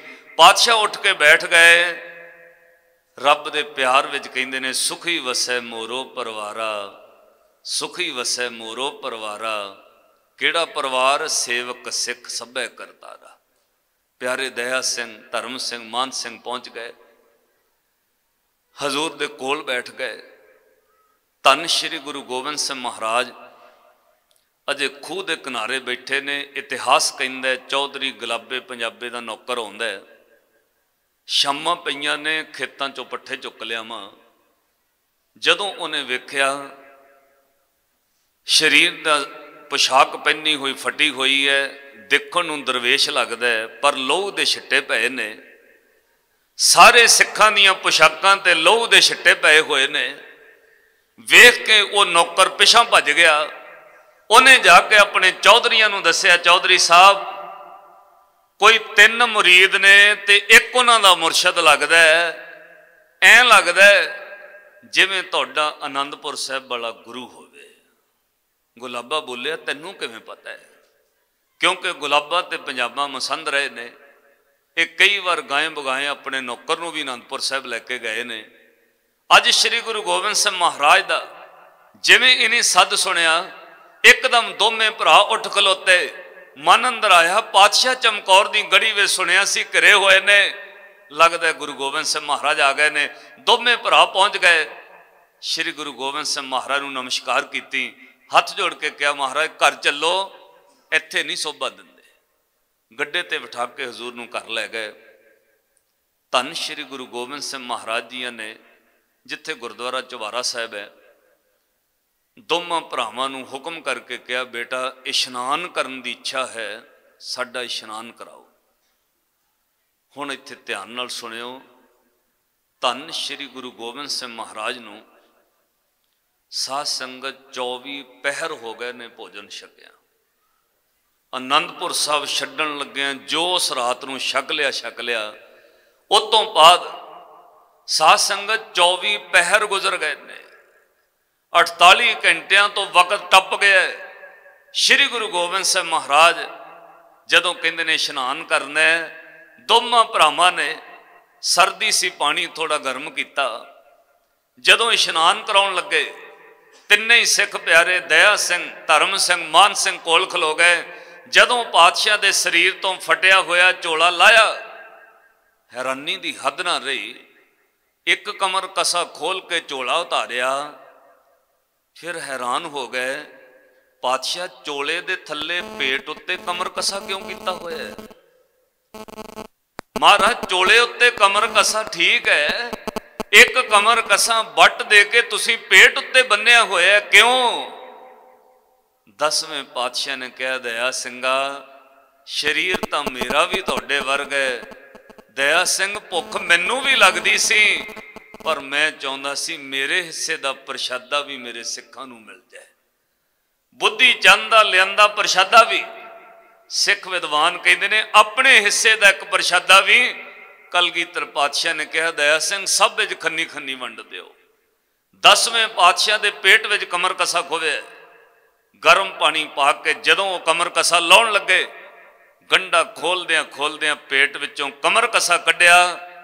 ਕਹਿੰਦੇ ਨੇ, ਇੱਕਦਮ ਮਾਸ ਪੁੱਟਿਆ ਗਿਆ, ਲਹੂ ਦੀ ਧਾਰ ਵਗੀ, ਇਸ਼ਨਾਨ ਕਰਾਉਂਦੇ ਉਸ ਪਾਣੀ ਵਿੱਚ ਲਹੂ ਬਹਿਣ ਲੱਗ ਪਿਆ। ਦਇਆ ਸਿੰਘ ਇੱਕਦਮ ਉਦਾਸ ਜਿਹਾ ਹੋ ਗਏ। ਸਤਿਗੁਰੂ ਕਲਗੀਧਰ ਪਾਤਸ਼ਾਹ ਨੇ ਕਿਹਾ, ਦਇਆ ਸਿੰਘਾ, ਕੀ ਹੋ ਗਿਆ? ਮੇਰਾ ਲਹੂ ਪਾਣੀ ਵਿੱਚ ਵਗਦਾ ਵੇਖ ਕੇ ਉਦਾਸ ਹੋ ਰਿਹਾ ਦਇਆ ਸਿੰਘ, ਅੱਜ ਮੇਰੇ ਜਿਸਮ ਦਾ ਇਹ ਲਹੂ ਇਸ ਮਾਛੀਵਾੜੇ ਦੀ ਧਰਤੀ ਵਿੱਚ ਸਿੰਜ ਲੈਣ ਦੇ ਵਕਤ ਹੋਣਾ ਜਿੰਨਾ ਸਕੂਨ ਇਸ ਧਰਤੀ ਤੇ ਹੋਏਗਾ, ਉਨਾ ਸਕੂਨ ਕਿਸੇ ਨੂੰ ਹੋਰ ਕਿਤੇ ਨਹੀਂ ਮਿਲੇਗਾ। ਸਾਧ ਸੰਗਤ, ਇਹ ਤੁਸੀਂ ਐਨਾਲਿਸਿਸ ਕਰਿਓ, ਮੈਂ ਵਿਚਾਰ ਕੀਤੀ ਹੈ। ਜਿੰਨਾ ਕੁ ਸਕੂਨ ਇੰਨੇ ਕੁ ਏਰੀਏ ਵਿੱਚ, ਧਰਤੀ ਵਿੱਚ ਹੈ, ਤੁਹਾਨੂੰ ਕਿਤੇ ਨਹੀਂ ਮਿਲੇਗਾ। ਔਰ ਇਹ ਵੀ ਸੱਚ ਹੈ, ਇੱਥੋਂ ਦੇ ਰਹਿਣ ਵਾਲੇ ਲੋਕ, ਉਹ ਵੱਖਰੀ ਗੱਲ ਹੈ, ਕੋਈ ਬਹੁਤ ਜ਼ਿਆਦਾ ਮਨਮੁਖ ਹੋਵੇ ਤਾਂ ਕਿਸੇ ਦਾ ਕੱਲ ਕਲੇਸ਼ ਭਾਵੇਂ ਥਾਣੇ ਵਿੱਚ ਚਲਾ ਜਾਏ, ਨਹੀਂ ਤਾਂ ਇਸ ਸਥਾਨ ਦੇ ਨੇੜੇ ਰਹਿਣ ਵਾਲਿਆਂ ਦੇ ਘਰ ਵਿੱਚ ਕਲੇਸ਼ ਵੀ ਨਹੀਂ ਹੁੰਦਾ ਕਦੇ। ਜੇ ਹੋਵੇ ਵੀ ਐ ਹੁੰਦਾ, ਜਿਵੇਂ ਪਾਣੀ ਵਿੱਚ ਲੀਕ ਮਾਰੀ ਹੈ, ਨਾਲੇ ਹੀ ਮਿਟ ਗਿਆ। ਇਸ ਧਰਤੀ ਤੇ ਰਹਿਣ ਵਾਲਿਆਂ ਦੇ ਅੰਦਰ ਸਕੂਨ ਹੈ, ਜੇ ਕੋਈ ਗੁਰੂ ਗੋਬਿੰਦ ਸਿੰਘ ਮਹਾਰਾਜ ਤੇ ਵਿਸ਼ਵਾਸ ਰੱਖ ਕੇ ਚੱਲਦਾ ਹੈ। ਕਲਗੀਧਰ ਪਾਤਸ਼ਾਹ ਦਾ ਇਸ਼ਨਾਨ ਕਰਾਇਆ, ਕੱਪੜੇ ਨਾਲ ਉਹ ਜ਼ਖਮ ਬੰਨ ਦਿੱਤਾ ਗਿਆ। ਧੰਨ ਸ਼੍ਰੀ ਗੁਰੂ ਗੋਬਿੰਦ ਸਿੰਘ ਮਹਾਰਾਜ, ਪਾਤਸ਼ਾਹ ਉਸ ਗੁਲਾਬੇ ਤੇ ਪੰਜਾਬੇ ਦੇ ਘਰ ਵਿੱਚ ਚਵਾਰੇ ਵਿੱਚ ਬਹਿ ਗਏ। ਉੱਥੇ ਹਜ਼ੂਰ ਨੇ ਹੁਕਮ ਕੀਤਾ। ਕਹਿੰਦੇ, ਭਾਈ ਗੁਲਾਬਿਆ, ਤੇਰੇ ਸ਼ਹਿਰ ਵਿੱਚ ਤਿੰਨ ਸ਼ਰਧਾਲੂ ਹੋਰ ਰਹਿੰਦੇ ਨੇ ਸਾਡੇ। ਮਹਾਰਾਜ ਕੌਣ? ਕਹਿਣ ਲੱਗੇ ਉਹਨਾਂ ਨੂੰ ਸੁਨੇਹਾ ਦਿਓ ਕਿ ਗੁਰੂ ਗੋਬਿੰਦ ਸਿੰਘ ਮਾਸ਼ੀਵਾੜੇ ਆਏ ਨੇ। ਮਹਾਰਾਜ, ਸਤ ਵਚਨ। ਹਜ਼ੂਰ ਨੇ ਕਿਹਾ, ਦੋ ਤਾਂ ਸਕੇ ਭਰਾ ਮੁਸਲਮਾਨ ਨੇ, ਇੱਕ ਗਨੀ ਖਾਨ ਤੇ ਨਵੀ ਖਾਨ ਉਹਨੂੰ ਸੁਨੇਹਾ ਦੇ ਦਿਓ, ਗੁਰੂ ਗੋਬਿੰਦ ਸਿੰਘ ਮਾਸ਼ੀਵਾੜੇ ਆਏ ਨੇ, ਉਹ ਤੁਹਾਡੇ ਘਰ ਮਿਲਣ ਆਉਣਗੇ। ਪਾਤਸ਼ਾਹ ਤੀਜਾ ਕੌਣ ਹੈ? ਕਹਿੰਦੇ, ਤੇਰੇ ਸ਼ਹਿਰ ਵਿੱਚ ਇੱਕ ਨਿਹੱਲੇ ਖੱਤਰੀ ਦੀ ਬਜ਼ੁਰਗ ਮਾਂ ਹੈ। ਉਹਦੀਆਂ ਅੱਖਾਂ ਦੀ ਰੋਸ਼ਨੀ ਵੀ ਘੱਟ ਹੈ, ਬਹੁਤ ਬਿਰਧ ਸਰੀਰ ਹੈ। ਉਹ ਮਾਤਾ ਹਰਦਈ ਨੂੰ ਸੁਨੇਹਾ ਦਿਓ, ਗੁਰੂ ਗੋਬਿੰਦ ਸਿੰਘ ਆਏ। ਪਾਤਸ਼ਾਹ ਨੇ ਕਿਹਾ ਸੀ, ਆਏ ਉਹਨਾਂ ਕਰਕੇ। ਇੱਕ ਵਿਦਵਾਨ ਨੇ ਇਹ ਲਿਖਿਆ ਹੈ 1700 ਈਸਵੀ ਤੱਕ ਹਰ ਸਾਲ ਮਾਤਾ ਹਰਦਈ ਆਪਣੇ ਹੱਥੀਂ ਕੱਪੜਾ ਬੁਣ ਕੇ ਇੱਕ ਚੋਲਾ ਤਿਆਰ ਕਰਕੇ ਅਨੰਦਪੁਰ ਸਾਹਿਬ ਜਾਂਦੀ ਰਹੀ ਤੇ ਜਦੋਂ ਫਿਰ ਅਨੰਦਪੁਰ ਸਾਹਿਬ ਜੰਗਾਂ ਜੁੱਦਾਂ ਦੇ ਦਿਨ ਸ਼ੁਰੂ ਹੋ ਗਏ, ਕਲਗੀਧਰ ਪਾਤਸ਼ਾਹ ਨੇ ਕਿਹਾ, ਮਾਤਾ, ਅੱਜ ਤੋਂ ਬਾਅਦ ਚੋਲਾ ਬੁਣ ਕੇ ਨਾ ਲਿਆਈ ਕੱਪੜਾ ਬੁਣ ਕੇ, ਚੋਲਾ ਸੀ ਕੇ ਘਰ ਵਿੱਚ ਰੱਖ ਲਈ, ਵਕਤ ਆਏਗਾ, ਅਸੀਂ ਖੁਦ ਲੈਣ ਆਵਾਂਗੇ। 1700 ਈਸਵੀ ਤੋਂ ਲੈ ਕੇ 1704 ਤੱਕ ਇਤਿਹਾਸ ਕਹਿੰਦਾ ਚਾਰ ਚੋਲੇ, ਇੱਕ ਚਾਦਰ। ਮਾਤਾ ਨੇ ਕੱਪੜਾ ਬੁਣ ਕੇ ਚੋਲੇ ਸੀ ਕੇ ਰੱਖੇ ਹੋਏ ਸੀ। ਜਦੋਂ ਨਿਹੱਲੇ ਖੱਤਰੀ ਦੇ ਘਰ ਰਾਤ ਦੇ ਹਨੇਰੇ ਵਿੱਚ ਜਾ ਕੇ ਚੌਧਰੀਆਂ ਨੇ ਖਬਰ ਦਿੱਤੀ, ਦਰਵਾਜ਼ਾ ਖੜਕਾਇਆ ਮਾਤਾ ਨੂੰ ਜਾ ਕੇ ਕਿਹਾ, ਮਾਤਾ ਹਰਦਈ, ਸਾਡੇ ਘਰ ਵਿੱਚ ਆਨੰਦਪੁਰ ਸਾਹਿਬ ਵਾਲੇ ਗੁਰੂ ਗੁਰੂ ਗੋਬਿੰਦ ਸਿੰਘ ਮਹਾਰਾਜ ਆਏ ਨੇ ਔਰ ਤੈਨੂੰ ਬੁਲਾ ਰਹੇ ਨੇ। ਗੁਰੂ ਦਾ ਹੁਕਮ ਹੈ, ਭੇਟਾ ਲੈ ਕੇ ਆਈ। ਉਹਨੇ ਆਪਣੇ ਪੁੱਤ ਨੂੰ ਕਿਹਾ, ਪੁੱਤ ਨੇ ਹਾਲਿਆ ਪੁੱਤ ਸੰਦੂਕ ਵਿੱਚੋਂ ਭੇਟਾ ਕੱਢ ਗੁਰੂ ਦੀ। ਚਾਰ ਚੋਲੇ ਤੇ ਇੱਕ ਚਾਦਰ ਸ੍ਰੀ ਗੁਰੂ ਗੋਬਿੰਦ ਸਿੰਘ ਮਹਾਰਾਜ ਵਾਸਤੇ। ਚੌਵਾਂ ਸਾਲਾਂ ਦੇ ਚਾਰ ਚੋਲੇ ਤੇ ਇੱਕ ਚਾਦਰ ਬਣੀ ਹੈ। ਦੋਵੇਂ ਮਾਂ ਤੇ ਪੁੱਤ ਲੈ ਕੇ ਤੁਰ ਪਏ। ਰਾਤ ਦੇ ਹਨੇਰੇ ਵਿੱਚ ਗੁਰਦੁਆਰਾ ਚਵਾਰਾ ਸਾਹਿਬ ਜਿੱਥੇ ਬਣਿਆ ਚੌਧਰੀਆਂ ਦਾ ਘਰ ਸੀ। ਲਿਆ ਕੇ ਪਾਤਸ਼ਾਹ ਨੂੰ ਭੇਂਟ ਕੀਤਾ ਸ੍ਰੀ ਗੁਰੂ ਗੋਬਿੰਦ ਸਿੰਘ ਮਹਾਰਾਜ ਨੇ ਕਿਹਾ, ਮਾਤਾ, ਤੇਰੀ ਸੇਵਾ ਪ੍ਰਵਾਨ ਹੈ। ਜਾਂ ਤੇਰੇ ਲੋਕ ਸੁਖੀ ਪਰ ਲੋਕ ਸੁਹੇਲੇ ਦੀ ਜ਼ਿੰਮੇਵਾਰੀ ਗੁਰੂ ਨਾਨਕ ਦੀ ਹੈ। ਅੱਜ ਤੋਂ ਬਾਅਦ ਸਾਡੇ ਲਈ ਕੱਪੜਾ ਨਾ ਬੁਣੀ, ਤੇਰਾ ਲੋਕ ਪਰਲੋਕ ਸੁਖੀ ਸੁਹੇਲਾ ਹੋਇਆ। ਤੂੰ ਜਨਮ ਮਰਨ ਤੋਂ ਮੁਕਤ ਹੋਈ। ਤੇਰੀ ਸੇਵਾ ਪ੍ਰਵਾਨ ਹੈ। ਪਾਤਸ਼ਾਹ ਨੇ ਇੰਨੀਆਂ ਸੀਸਾਂ ਦੇ ਕੇ ਉਹਨਾਂ ਨੂੰ ਤੋਰ ਦਿੱਤਾ ਤੇ ਫਿਰ ਹਜ਼ੂਰ ਅੱਧੀ ਰਾਤ ਨੂੰ ਕਹਿੰਦੇ ਨੇ, ਗੁਲਾਬੇ ਪੰਜਾਬੇ ਆ ਚਾਰੇ ਚੋਲੇ ਤੇ ਇੱਕ ਚਾਦਰ, ਇਹਨੂੰ ਨੀਲਾ ਰੰਗ ਕਰਾ ਕੇ ਲਿਆ ਮਹਾਰਾਜ, ਇਸ ਵਕਤ ਕਹਿਣਗੇ, ਤੇਰੇ ਕਸਬੇ ਵਿੱਚ, ਤੇਰੇ ਪਿੰਡ ਵਿੱਚ ਕੋਈ ਲਲਾਰੀ ਰਹਿੰਦਾ ਹੈ? ਕਹਿੰਦੇ, ਹਾਂ ਮਹਾਰਾਜ, ਇੱਕੋ ਹੀ ਘਰ ਹੈ ਲਲਾਰੀਆਂ ਦਾ। ਕਹਿਣਗੇ, ਜਾ ਫਿਰ। ਉਹਨੂੰ ਇਸੇ ਵਕਤ ਤੇ ਚੋਲੇ ਤੇ ਚਾਦਰ ਦੇ ਕੇ ਆਓ, ਉਹਨੂੰ ਕੋ ਨੀਲਾ ਰੰਗ ਕਰ ਦਿਓ। ਕੋਈ ਨਹੀਂ ਸੀ ਜਾਣਦਾ। ਗੁਰੂ ਨੇ ਨੀਲੇ ਰੰਗ ਦੇ ਚੋਲੇ ਪਾ ਕੇ ਅਗਲੀ ਸ਼ਾਮ ਨੂੰ ਇਸੇ ਧਰਤੀ ਤੋਂ ਉੱਚਦਾ ਪੀਰ ਬਣ ਕੇ ਤੁਰਦਾ ਸ਼੍ਰੀ ਗੁਰੂ ਗੋਬਿੰਦ ਸਿੰਘ ਮਹਾਰਾਜ ਨੇ ਤਿੰਨਾਂ ਸਿੱਖਾਂ ਵਾਸਤੇ ਚੋਲੇ ਰੰਗਵਾਏ। ਇੱਕ ਆਪਣੇ ਵਾਸਤੇ। ਚਾਰੇ ਚੋਲੇ ਤੇ ਇੱਕ ਚਾਦਰ ਨੀਲਾ ਰੰਗ ਕਰਨੇ ਲਲਾਰੀਆਂ ਦੇ ਭੇਜ ਤੇ ਜਦੋਂ ਅੱਧੀ ਰਾਤ ਨੂੰ ਚੌਧਰੀਆਂ ਨੇ ਜਾ ਕੇ ਦਰਵਾਜ਼ਾ ਖੜਕਾਇਆ ਨਾ ਲਲਾਰੀ ਨੇ ਦਰਵਾਜ਼ਾ ਖੋਲ੍ਹਿਆ। ਲੈਂਪ ਨਾਲ ਲੋ ਲਾ ਕੇ ਵੇਖਿਆ, ਚੌਧਰੀ ਸਾਹਿਬ ਇੰਨੀ ਰਾਤ ਗਏ ਤੇ ਚੌਧਰੀ ਗੁਲਾਬਾ ਤੇ ਪੰਜਾਬਾ ਬੋਲੇ, ਕਹਿੰਦੇ ਬਈ ਸਾਡਾ ਗੁਰੂ ਸਾਡੇ ਘਰ ਆਇਆ ਸਾਡੇ ਮੁਰਸ਼ਦ ਦਾ ਹੁਕਮ ਹੈ, ਆ ਕੱਪੜੇ ਨੰਗੀਚਣੇ ਨੇ, ਇਹਨੂੰ ਨੀਲਾ ਰੰਗ ਕਰ ਸਕਨੇ? ਲਲਾਰੀ ਨੇ ਕਿਹਾ ਜੀ, ਸਾਡਾ ਤਾਂ ਕੰਮ ਹੀ ਕੱਪੜੇ ਰੰਗਣਾ ਕੱਪੜੇ ਦੇ ਜਾਓ, ਰੰਗ ਕਰ ਦਾਂਗੇ। ਪਰ ਇੱਕ ਗੱਲ ਹੈ ਤਿੰਨ ਚਾਰ ਦਿਨ ਲੱਗ ਜਾਣਗੇ, ਕਿਉਂਕਿ ਸਾਡੇ ਘਰ ਵਿੱਚ ਰੰਗ ਮੁੱਕਿਆ ਹੋਇਆ ਹੈ। ਕੱਲ ਸਵੇਰੇ ਦਿਨ ਚੜ੍ਹਨਾ ਰੰਗ ਲਿਆਵਾਂਗੇ, ਇੱਕ ਮੱਟ ਵਿੱਚ ਕਾੜਾਂਗੇ, ਫਿਰ ਕੱਪੜੇ ਰੰਗਾਂਗੇ। ਚੌਧਰੀ ਵਾਪਸ ਆ ਗਏ। ਗੁਲਾਬਾ ਤੇ ਪੰਜਾਬਾ 10ਵੇਂ ਪਾਤਸ਼ਾਹ ਨੂੰ ਆ ਕੇ ਕਹਿੰਦੇ ਨੇ, ਸੱਚੇ ਪਾਤਸ਼ਾਹ, ਕੱਪੜੇ ਤੇ ਦੇ ਆਂਦੇ ਨੇ। ਪਰ ਲਲਾਰੀ ਕਹਿੰਦਾ 3-4 ਦਿਨ ਲੱਗ ਜਾਣਗੇ। ਹਜ਼ੂਰ ਨੇ ਕਿਹਾ 3-4 ਦਿਨ ਦਾ ਵਕਤ ਨਹੀਂ। ਅਸੀਂ ਤੁਹਾਨੂੰ ਤੇ ਤੁਹਾਡੇ ਪਿੰਡ ਨੂੰ ਖਤਰੇ ਵਿੱਚ ਨਹੀਂ ਪਾਉਣਾ ਚਾਹੁੰਦੇ। ਅਸੀਂ ਛੇਤੀ ਅੱਗੇ ਜਾਣਾ ਲਲਾਰੀ ਨੂੰ ਕਹਿ ਕੱਲ ਸਵੇਰ ਤੱਕ ਚੋਲੇ ਰੰਗ ਕੇ ਦੇ। ਤੇ ਗੁਲਾਬਾ ਪੰਜਾਬਾ ਕਹਿੰਦੇ, ਮਹਾਰਾਜ ਉਹਦੇ ਕੋਲ ਰੰਗ ਹੀ ਮੁੱਕਿਆ ਹੋਇਆ ਕਾਦੇ ਨਾਲ ਰੰਗੇਗਾ? ਦਸਵੇਂ ਪਾਤਸ਼ਾਹ ਨੇ ਕਿਹਾ, ਕਹਿ ਦਿਓ ਲਲਾਰੀ ਨੂੰ, ਜਿਹੜੇ ਮੱਟ ਵਿੱਚ ਉਹ ਕੱਪੜੇ ਰੰਗਦਾ ਉਹਨੂੰ ਕਹੋ, ਪਾਣੀ ਪਾ ਕੇ ਵਿਸ਼ਵਾਸ ਰੱਖ ਕੇ ਡੋਬਦਾ ਹੈ। ਰੰਗ ਪਾਉਣ ਦੀ ਲੋੜ ਨਹੀਂ, ਸਵੇਰੇ ਆਪੇ ਰੰਗ ਹੋ ਜਾਣਗੇ। ਚੌਧਰੀ ਚਲੇ ਗਏ, ਗੁਰੂ ਤੇ ਭਰੋਸਾ ਹੈ। ਇੱਕ ਬੇਨਤੀ ਸਮਝਿਓ, ਇਹਨੂੰ ਹੀ ਕਹਿੰਦੇ ਨੇ, ਗੁਰਸਿੱਖੀ ਬਾਰੀਕ ਹੈ, ਖੰਡੇ ਧਾਰ, ਗਲੀ ਅਤ ਪੀੜੀ ਜੋ ਗੁਰੂ ਕਹਿ ਰਿਹਾ ਉਹਨੂੰ ਸੱਤ ਕਰਕੇ ਮੰਨਣਾ ਉਹਦੇ ਮੂਹਰੇ ਆਰਗੂਮੈਂਟ ਨਹੀਂ ਕਰਨਾ ਵੇ ਇਹ ਕਿਵੇਂ ਹੋ ਸਕਦਾ ਜੀ।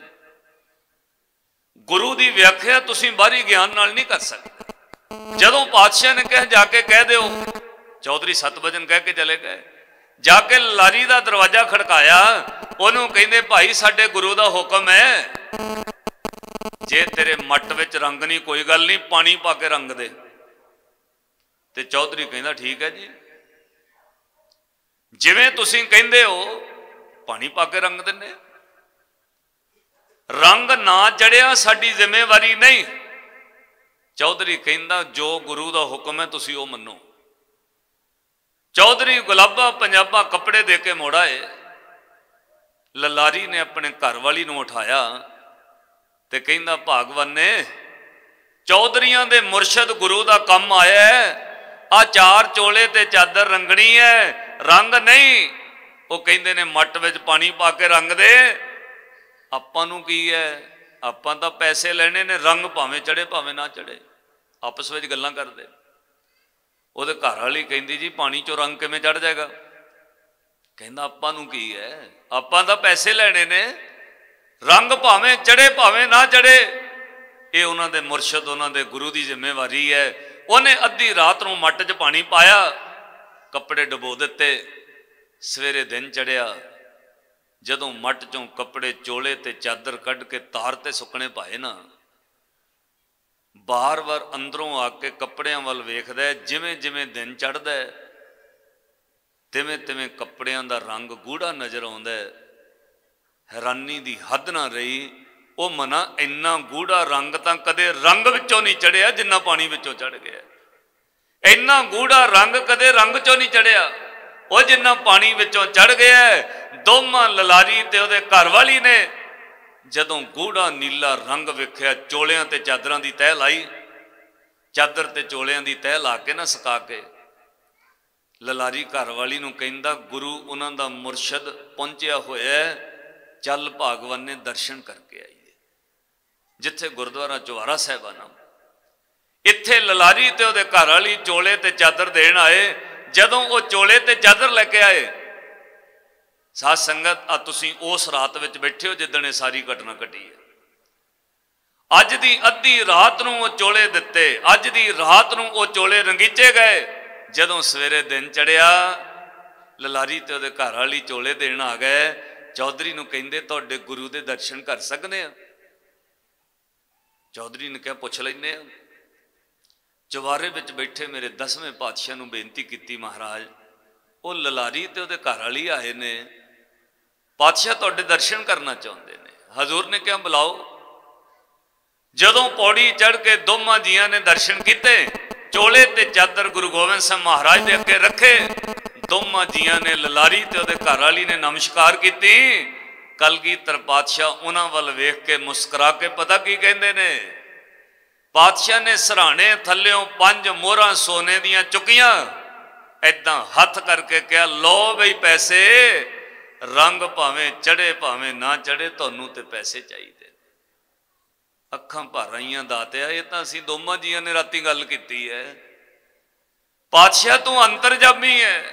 ਪਾਤਸ਼ਾਹ ਨੇ ਕਿਹਾ, ਲਓ ਬਈ ਪੈਸੇ। ਰੰਗ ਭਾਵੇਂ ਚੜੇ ਭਾਵੇਂ ਨਾ ਚੜੇ ਤੁਹਾਨੂੰ ਤੇ ਪੈਸੇ ਚਾਹੀਦੇ ਨੇ। ਦੋਵਾਂ ਜੀਆਂ ਨੇ ਹੱਥ ਜੋੜ ਕੇ ਅੱਖਾਂ ਭਰ ਲਈਆਂ। ਲਲਾਰੀ ਕਹਿੰਦਾ, ਮਹਾਰਾਜ, ਪੈਸੇ ਨਹੀਂ ਚਾਹੀਦੇ। ਪਾਤਸ਼ਾਹ ਨੇ ਕਿਹਾ, ਕਿਉਂ? ਕਹਿੰਦਾ, ਸੱਚੇ ਪਾਤਸ਼ਾਹ, ਗਰੀਬ ਬਹੁਤ ਆ ਮੈਂ। ਘਰ ਵਿੱਚ ਪੈਸਾ ਨਹੀਂ, ਪਰ ਅੱਜ ਤੁਹਾਡੇ ਕੋਲੋਂ ਪੈਸੇ ਨਹੀਂ ਚਾਹੀਦੇ। हे ਗੁਰੂ ਗੋਬਿੰਦ ਸਿੰਘ ਮਹਾਰਾਜ, ਅੱਜ ਅਸੀਂ ਕੁਝ ਹੋਰ ਮੰਗਣਾ ਉਹ ਮੁੱਦਤਾਂ ਬਾਅਦ ਕੋਈ ਇੰਨਾ ਕਾਮਲ ਮੁਰਸ਼ਦ ਮਿਲਿਆ ਅੱਜ ਪੈਸੇ ਲੈ ਕੇ ਨਹੀਂ ਮੁੜਨਾ, ਕੁਝ ਹੋਰ ਚਾਹੀਦਾ ਸਤਿਗੁਰੂ ਬੋਲੇ, ਕਹਿਣ ਲੱਗੇ, ਦੱਸ ਵੀ ਕੀ ਚਾਹੀਦਾ ਆ ਸੁਣਿਓ ਸਾਧ ਸੰਗਤ, ਜਿਹੜਾ ਗੁਰੂ ਆਪਣੇ ਦੋ ਪੁੱਤ ਬਾਹਰ ਕੇ ਆਇਆ, ਇੱਕ ਦਿਨ ਪਹਿਲਾਂ ਅਜੇ ਅੱਜ ਦੂਜੇ ਦਿਨ ਉਹਦੇ ਕੋਲੋਂ ਮੰਗਣ ਕੀ ਲੱਗਾ ਲਲਾਰੀ ਜਿਹੜਾ ਗੁਰੂ ਕਲਗੀਆਂ ਵਾਲਾ ਦੋ ਪੁੱਤਰਾਂ ਦੀਆਂ ਲਾਸ਼ਾਂ ਕੋਲੋਂ ਕੱਲ ਲੰਘ ਕੇ ਆਇਆ ਅੱਜ ਉਹਦੇ ਕੋਲੋਂ ਲਲਾਰੀ ਮੰਗਣ ਕੀ ਲੱਗਾ ਉਸ ਲਲਾਰੀ ਨੇ ਹੱਥ ਜੋੜ ਕੇ ਇੱਕ ਗੱਲ ਕਹੀ, ਦਾਤਿਆ ਗਰੀਬੀ ਦੇਖ ਲੈਂਦਾ ਬੰਦਾ, ਦੁੱਖ ਸੁੱਖ ਕੱਟ ਲੈਂਦਾ ਗਰੀਬੀ ਦੇ ਦਿਨ ਕੱਟੇ ਜਾਂਦੇ ਨੇ, ਦੁੱਖ ਦੇ ਦਿਨ ਵੀ ਕੱਟੇ ਜਾਂਦੇ ਨੇ। हे ਗੁਰੂ ਗੋਬਿੰਦ ਸਿੰਘ ਮਹਾਰਾਜ ਪਾਤਸ਼ਾਹ ਬਿਨਾ ਔਲਾਦ ਤੋਂ ਰਹਿਣਾ ਦੁਨੀਆ ਦੇ ਮਿਹਣੇ ਸੁਣਨੇ ਬਹੁਤ ਔਖੇ ਨੇ। ਪਾਤਸ਼ਾਹ, ਸਾਨੂੰ ਲੋਕ ਅੰਤਰਾ ਕਹਿੰਦੇ ਨੇ, ਸਾਡੇ ਘਰ ਵਿੱਚ ਔਲਾਦ ਨਹੀਂ। ਆ ਮੇਰੇ ਘਰ ਵਾਲੀ ਦੇ ਪਰਛਾਵੇਂ ਤੋਂ ਲੋਕ ਆਪਣੇ ਬੱਚਿਆਂ ਨੂੰ ਲੁਕੋ ਲੈਂਦੇ ਨੇ।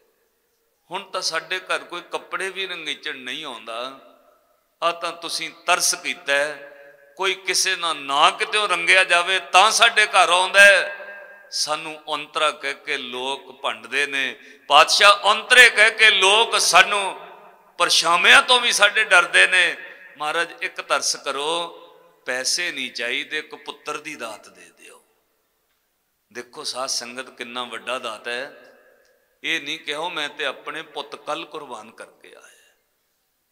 ਜਦੋਂ ਲਲਾਰੀ ਨੇ ਕਿਹਾ ਦਾਤਿਆ ਚਾਹੀਦਾ ਕੁਝ ਨਹੀਂ, ਇੱਕ ਪੁੱਤਰ ਦੀ ਦਾਤ ਦੇ ਦਿਓ। ਦਸਵੇਂ ਪਾਤਸ਼ਾਹ ਨੇ ਖੁਸ਼ ਹੋ ਕੇ ਕਿਹਾ, ਲਲਾਰੀ, ਤੂੰ ਵਿਸ਼ਵਾਸ ਨਾਲ ਕੱਪੜੇ ਰੰਗੇ ਨੇ? ਆ ਲੈ ਫੜ ਪੰਜ ਮੋਹਰਾਂ। ਤੇਰੇ ਘਰੋਂ ਦਲਿੱਦਰ ਤੇ ਗਰੀਬੀ ਵੀ ਖਤਮ। ਤੇ ਜਿਹੜੀ ਦਾਤ ਤੂੰ ਮੰਗੀ ਹੈ ਜਾਂ ਗੁਰੂ ਨਾਨਕ ਦੇ ਘਰੋਂ ਪੁੱਤਰ ਵੀ ਬਖਸ਼ਿਆ। ਸਾਧ ਸੰਗਤ, ਮੈਂ ਕਈ ਵਾਰ ਕਹਿਣਾ ਹੁੰਨਾ, ਤੁਸੀਂ ਵਿਸ਼ਵਾਸ ਰੱਖਿਓ ਗੁਰੂ ਤੇ। ਇਹ ਗੁਰੂ ਅਨਕੰਡੀਸ਼ਨਲ ਤੁਹਾਨੂੰ ਕਹਿੰਦਾ, ਜੋ ਮੰਗੇ ਠਾਕੁਰ ਆਪਣੇ ਤੇ। ਇਹ ਨਹੀਂ ਕਹਿੰਦਾ ਵੀ ਅੱਜ ਨਹੀਂ ਆ ਚੀਜ਼ ਦੇਣੀ ਐਦਾਂ ਨਹੀਂ ਗੁਰੂ ਕਦੇ ਨਾ ਕਰ। ਜੋ ਮੰਗੇ ਠਾਕੁਰ ਆਪਣੇ ਤੇ ਸੋਈ ਸੋਈ ਦੇਵੇ, ਅੱਜ 10ਵੇਂ ਪਾਤਸ਼ਾਹ ਨੇ ਕਿਹਾ, ਪੁੱਤਰ ਚਾਹੀਦਾ ਜਾਂ ਗੁਰੂ ਨਾਨਕ ਦੇ ਘਰੋਂ ਪੁੱਤਰ ਵੀ ਬਖਸ਼ਿਆ। ਤੇ ਜਦੋਂ ਖੁਸ਼ ਹੋ ਕੇ ਰੋਂਦੇ ਤੁਰਨ ਲੱਗੇ ਨਾ, ਦਾਤੇ ਨੇ ਪਿੱਛੋਂ ਆਵਾਜ਼ ਮਾਰ ਕੇ ਕਿਹਾ, ਜਿਹੜੇ ਮੱਟ ਵਿੱਚ ਸਾਡੇ ਝੋਲੇ ਰੰਗੇ ਨੇ ਨਾ, ਲਲਾਰੀ ਕਿਤੇ ਨਾ ਸਮਝੀ। ਉਹ ਦਿੱਤੇ ਹੋਏ ਗੁਰੂ ਗੋਬਿੰਦ ਸਿੰਘ ਦੇ ਚੋਲਿਆਂ ਵਿੱਚ ਕੋਈ ਕਰਾਮਾਤ ਸੀ? ਜਾਂ ਓਏ ਭਾਵਨਾ ਤੇ ਵਿਸ਼ਵਾਸ ਨਾਲ ਉਹਦੇ ਵਿੱਚ ਕੱਪੜੇ ਰੰਗੀ ਜਾਈ। ਵਿਸ਼ਵਾਸ ਰੱਖ ਕੇ ਰੰਗੀ, ਰੰਗ ਨਾ ਪਾਈ, ਪਾਣੀ ਵਿੱਚੋਂ ਤਾਂ ਵੀ ਰੰਗੀ ਹੋਈ ਜਾਣਗੇ। ਉਹਨਾਂ ਮਹਾਰਾਜ, ਸਤ ਬਚਨ ਤੇ ਨਾਲ ਕਲਗੀਆਂ ਵਾਲੇ ਨੇ ਇੱਕ ਗੱਲ ਕਹੀ, ਟੱਕਣ ਚੁੱਕ ਕੇ ਬਾਹਰ ਦੇ ਲੋਕਾਂ ਨੂੰ ਨਾ ਵਿਖਾਇਓ ਕਿ ਇਹ ਕਰਾਮਾਤ ਹੈ। ਜਿੰਨਾ ਚਿਰ ਪਾਣੀ ਪਾ ਕੇ ਰੰਗੀ ਜਾਓਗੇ, ਕੱਪੜੇ ਨਗੀਚੀ ਜਾਣਗੇ ਪਰ ਟੱਕਣ ਚੁੱਕ ਕੇ ਲੋਕਾਂ ਨੂੰ ਤਮਾਸ਼ਾ ਨਾ ਵਿਖਾਇਓ, ਜਾਓ ਤੁਹਾਡੇ ਮੱਟ ਵਿੱਚ ਸਦਾ ਹੀ ਰੰਗ ਰਹੇਗਾ। ਸਾਧ ਸੰਗਤ, ਉਹ ਮੱਟ ਦਹਾਕਿਆਂ ਤੱਕ ਉਹਨਾਂ ਦੇ ਘਰ ਵਿੱਚ ਪਾਣੀ ਪਾ ਕੇ ਕੱਪੜੇ ਰੰਗਦੇ ਰਹੇ। ਇੱਕ ਸਾਲ ਬਾਅਦ ਉਹਨਾਂ ਦੇ ਘਰ ਪੁੱਤਰ ਹੋਇਆ। ਜਦੋਂ ਉਹ ਪੁੱਤ ਜਵਾਨ ਹੋ ਕੇ 17 18 ਸਾਲ ਦਾ ਹੋਇਆ, ਹੁਣ ਲਲਾਰੀਆਂ ਦੇ, ਰਿਸ਼ਤੇ ਵੀ ਲਲਾਰੀਆਂ ਦੇ ਹੋਣੇ ਸੀ। ਉਹਨੇ ਆਪਣਾ ਪੁੱਤ ਖਮਾਣੋ ਵਿਆਹਿਆ। ਇਤਿਹਾਸ ਕਹਿੰਦਾ ਜਦੋਂ ਉਹ ਬੱਚੀ ਵਿਆਹੀ ਆਈ ਨਾ ਉਹਨਾਂ ਦੇ, ਉਹਨੂੰ 6 ਮਹੀਨੇ ਹੋ ਗਏ ਤੇ ਉਹ ਪੁੱਛਦੀ ਹੈ ਘਰ ਵਾਲੇ ਨੂੰ, ਜੀ, ਇੱਕ ਗੱਲ ਦੱਸੋ, ਮੈਂ ਵੀ ਲਲਾਰੀਆਂ ਦੀ ਧੀ ਆ। ਸਾਡੇ ਘਰ ਤਾਂ ਪੰਜੀ ਚੌਂਦ ਨਹੀਂ ਰੰਗ ਮੁੱਕਿਆ ਰਹਿੰਦਾ ਤੁਹਾਡੇ 6 ਮਹੀਨੇ ਹੋ ਗਏ, ਕਦੇ ਰੰਗ ਦਾ ਰੌਲਾ ਨਹੀਂ ਪਿਆ, ਰੰਗ ਨਹੀਂ ਪਾਉਂਦੇ। ਉਹਦੇ ਘਰ ਵਾਲੇ ਨੇ ਕਿਹਾ, ਆ ਮੱਟ ਗੁਰੂ ਗੋਬਿੰਦ ਸਿੰਘ ਮਹਾਰਾਜ ਦੀ ਬਖਸ਼ਿਸ਼ ਵਾਲਾ ਹੈ। ਮੇਰਾ ਜਨਮ ਵੀ ਗੁਰੂ ਗੋਬਿੰਦ ਸਿੰਘ ਮਹਾਰਾਜ ਦੀ ਬਖਸ਼ਿਸ਼ ਨਾਲ ਹੋਇਆ ਹੈ। ਭਗਵਾਨ ਨੇ ਇਹਦੇ ਵਿੱਚ ਪਾਣੀ ਪਾਈ ਦਾ, ਰੰਗ ਪਾਈ ਦਾ ਹੀ ਨਹੀਂ। ਪਰ ਸ਼ਰਤ ਹੈ ਕਿ ਬਾਹਰਲੇ ਬੰਦਿਆਂ ਨੂੰ ਨਹੀਂ ਵਿਖਾਉਣਾ ਚੱਕ ਕੇ। ਗੁਰੂ ਨੇ ਕਿਹਾ, ਇਹਨੂੰ ਤਮਾਸ਼ਾ ਨਾ ਵਿਖਾਇਓ ਬਾਹਰ। ਤੇ ਮਾਫ ਕਰਿਓ। ਕਈ ਵਾਰ ਬੀਬੀਆਂ ਤੋਂ ਗੱਲ ਰਹਿੰਦੀ ਨਹੀਂ, ਅੱਗੇ ਹੋ ਜਾਂਦੀ ਹੈ। ਗੁੱਸਾ ਨਾ ਕਰਿਓ। ਇਹ ਕੁਦਰਤੀ ਤੌਰ ਤੇ ਹੈ। ਜੇ ਆਪਾਂ ਦੂਜੇ ਨੂੰ ਕਹਿੰਨੇ ਨਾ, ਬੀਬੀ ਨੂੰ ਛੱਡੋ, ਬੰਦਾ ਵੀ ਐਂ ਹੈ ਜੇ ਤੂੰ ਕਿਸੇ ਦੂਜੇ ਨੂੰ ਤੁਸੀਂ ਕਹਿੰਦੇ ਹੋ ਨਾ ਵੀ ਮੈਂ ਤੈਨੂੰ ਹੀ ਦੱਸਣ ਲੱਗਾ, ਗਾਹਾਂ ਨਾ ਗੱਲ ਕਰੀ, ਮਾਫ ਕਰਿਓ। ਜਿਹਨੂੰ ਤੁਸੀਂ ਕਹਿੰਦੇ ਹੋ ਗਾਹਾਂ ਨਾ ਕਰੀ ਤੋਤੋ ਨਹੀਂ ਰੱਖੋ ਹੀ ਉਹਨੇ ਕਿਹੜਾ ਰੱਖਣੀ ਉਹਨੇ ਵੀ ਕਰ ਹੀ ਦੇਣੀ ਹੈ। ਇਹ ਮਾਨੀ ਇਦਾਂ ਦਾ ਹੈ। ਉਸ ਮਾਈ ਨੇ ਆਪਣੇ ਪੇਕੇ ਜਾ ਕੇ ਗੱਲ ਕਰ ਦਿੱਤੀ। ਉਹ ਕਹਿੰਦੀ, ਸਾਡੇ ਮੇਰੇ ਸਹੁਰਿਆਂ ਵਿੱਚ ਇਦਾਂ ਦਾ ਮੱਟ ਹੈ, ਜਿਹ ਚ ਰੰਗ ਨਹੀਂ ਪਾਉਣਾ ਪੈਂਦਾ।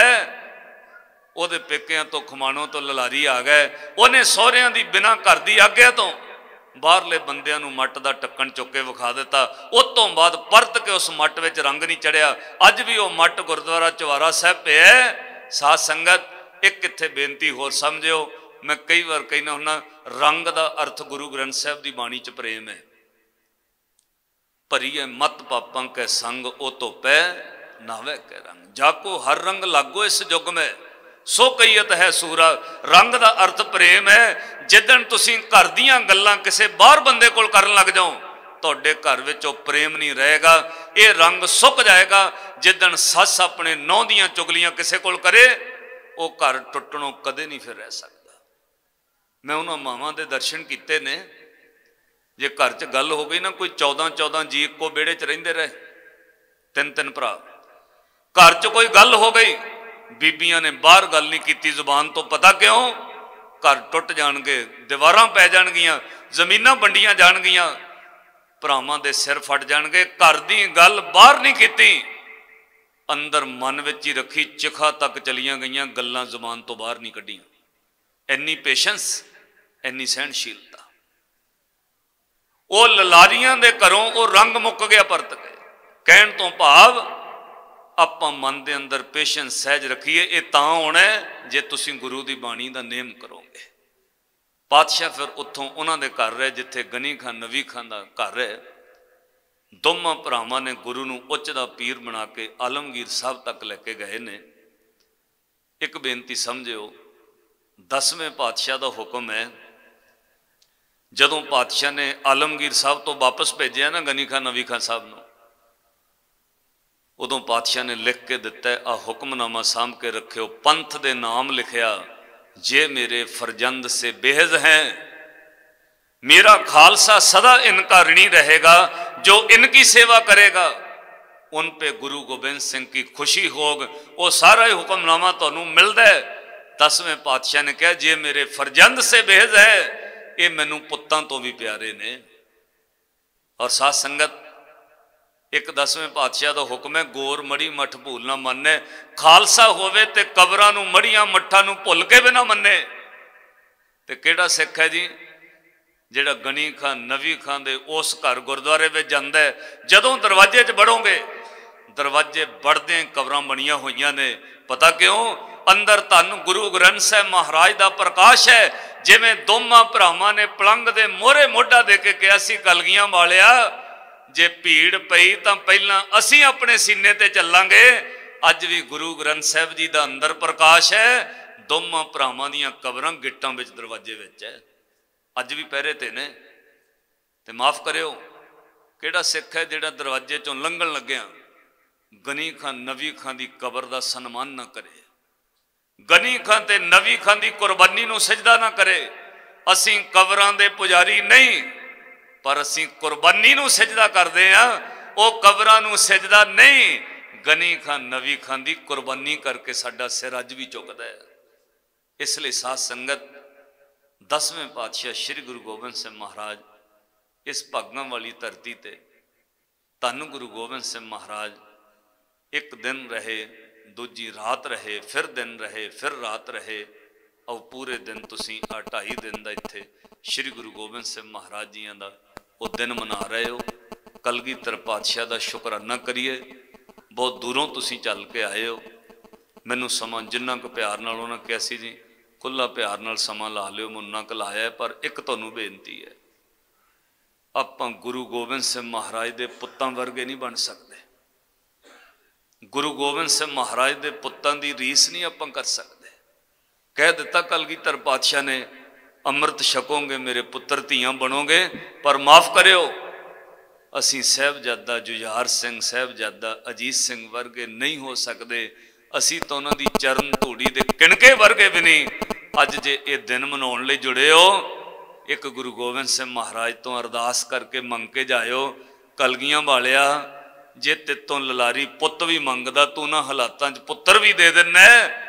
ਅਸੀਂ ਤੇਰੇ ਚਰਨਾਂ 'ਚ ਅੱਜ ਸਿੱਖੀ ਮੰਗਣੀ ਹੈ। ਸ੍ਰੀ ਗੁਰੂ ਗੋਬਿੰਦ ਸਿੰਘ ਮਹਾਰਾਜ, ਸਾਡੀ ਝੋਲੀ ਵਿੱਚ ਸਿੱਖੀ ਪਾ ਦਿਓ।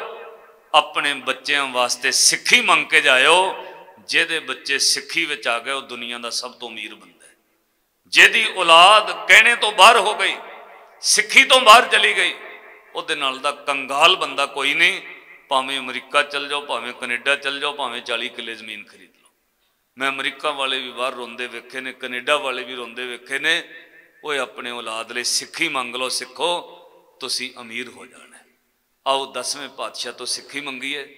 ਪਾਤਸ਼ਾਹ, ਇਸ ਧਰਤੀ ਤੇ ਆਏ ਹੋ, ਜਿਨ੍ਹਾਂ ਜਿਨ੍ਹਾਂ ਉੱਤੇ ਸੀਸ ਤੇ ਮਿਹਰ ਭਰਿਆ ਹੱਥ ਰੱਖ ਕੇ ਤੁਸੀਂ ਸੱਦਿਆ ਕਿਰਪਾ ਕਰਿਓ ਪਾਤਸ਼ਾਹ, ਸਾਨੂੰ ਸਾਰਿਆਂ ਨੂੰ ਸਿੱਖੀ ਦੀ ਦਾਤ ਬਖਸ਼ਿਓ।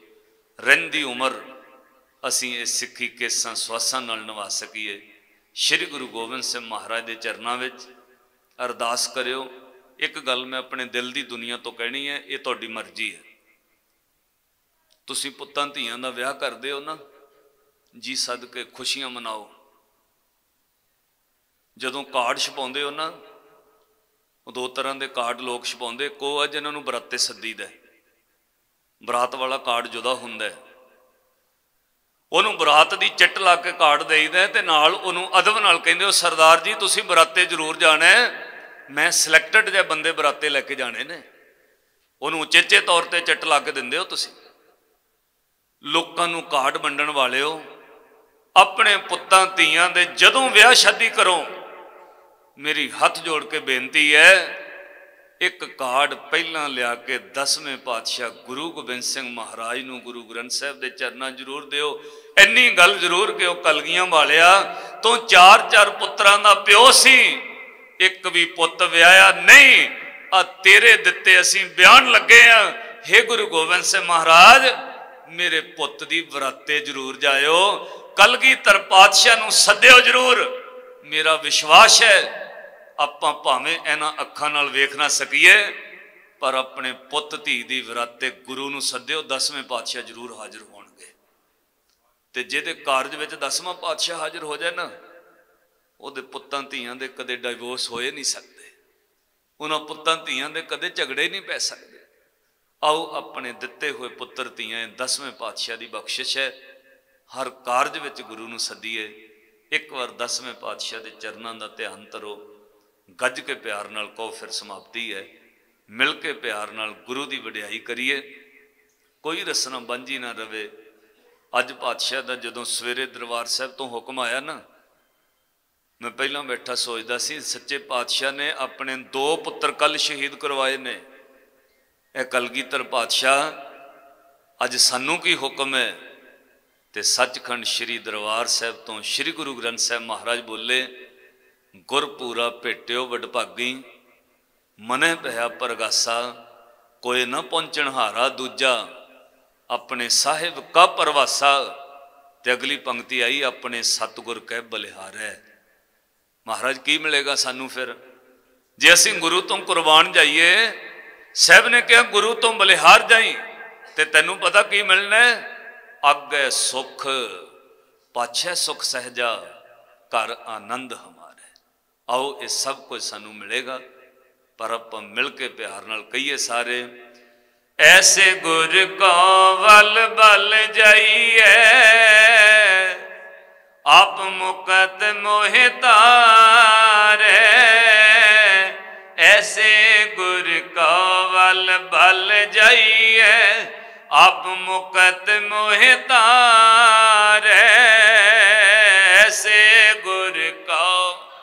ਵਲ ਜਾਈਏ ਆਪ ਮੁਕਤ।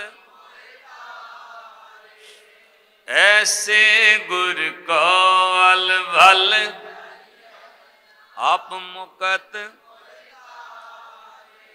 ਐਸੇ ਗੁਰ ਕੋ ਵਲ ਮਲ ਜਾਈਏ ਐਸੇ ਗੁਰ ਕਵਲ ਬਲ ਜਾਈਏ ਐਸੇ ਗੁਰ ਕਾ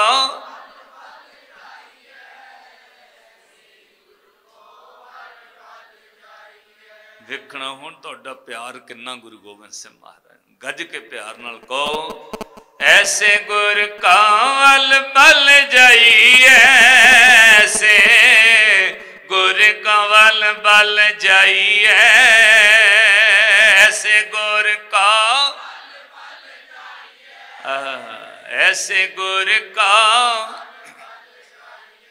ਧੰਨ ਸ੍ਰੀ ਗੁਰੂ ਗੋਬਿੰਦ ਸਿੰਘ ਜੀ ਧੰਨ ਸ੍ਰੀ ਗੁਰੂ ਗੋਬਿੰਦ ਸਿੰਘ ਜੀ, ਧੰਨ ਸ੍ਰੀ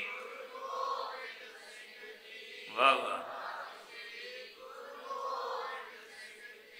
ਧੰਨ ਧੰਨ ਮਾਤਾ ਗੁਜਰ ਕੌਰ ਜੀ, ਧੰਨ ਧੰਨ ਮਾਤਾ ਗੁਜਰ ਕੌਰ ਜੀ, ਧੰਨ ਧੰਨ ਮਾਤਾ ਗੁਜਰ ਕੌਰ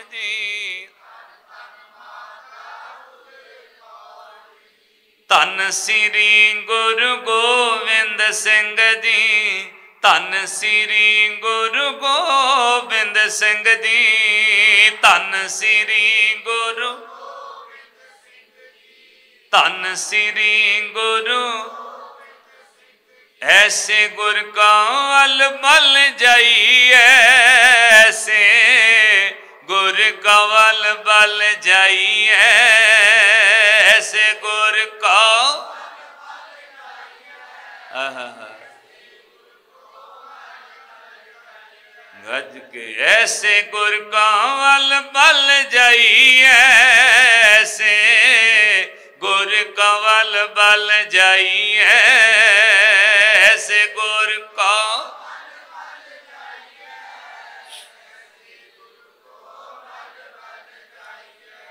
ਐਸੇ ਗੁਰ ਕਾ ਵਲ ਵਲ ਜਾਈਏ ਆਪ ਮੁਕਤ ਮੋਹਿ ਤਾਰੇ ਐਸੇ ਗੁਰ ਕੋ ਵਲ ਵਲ ਜਾਈਏ ਆਪ ਮੁਕਤ ਮੋਹਿ ਤਾਰੇ ਐਸੇ ਗੁਰ ਕੋ ਜਾਈਏ ਆਪ ਮੁਕਤ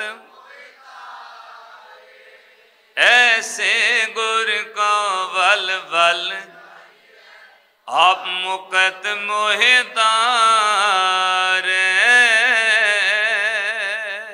ਸਤਿਗੁਰੂ ਕਿਰਪਾ ਕਰਨ ਤੁਹਾਡੀ ਸਾਰਿਆਂ ਦੀ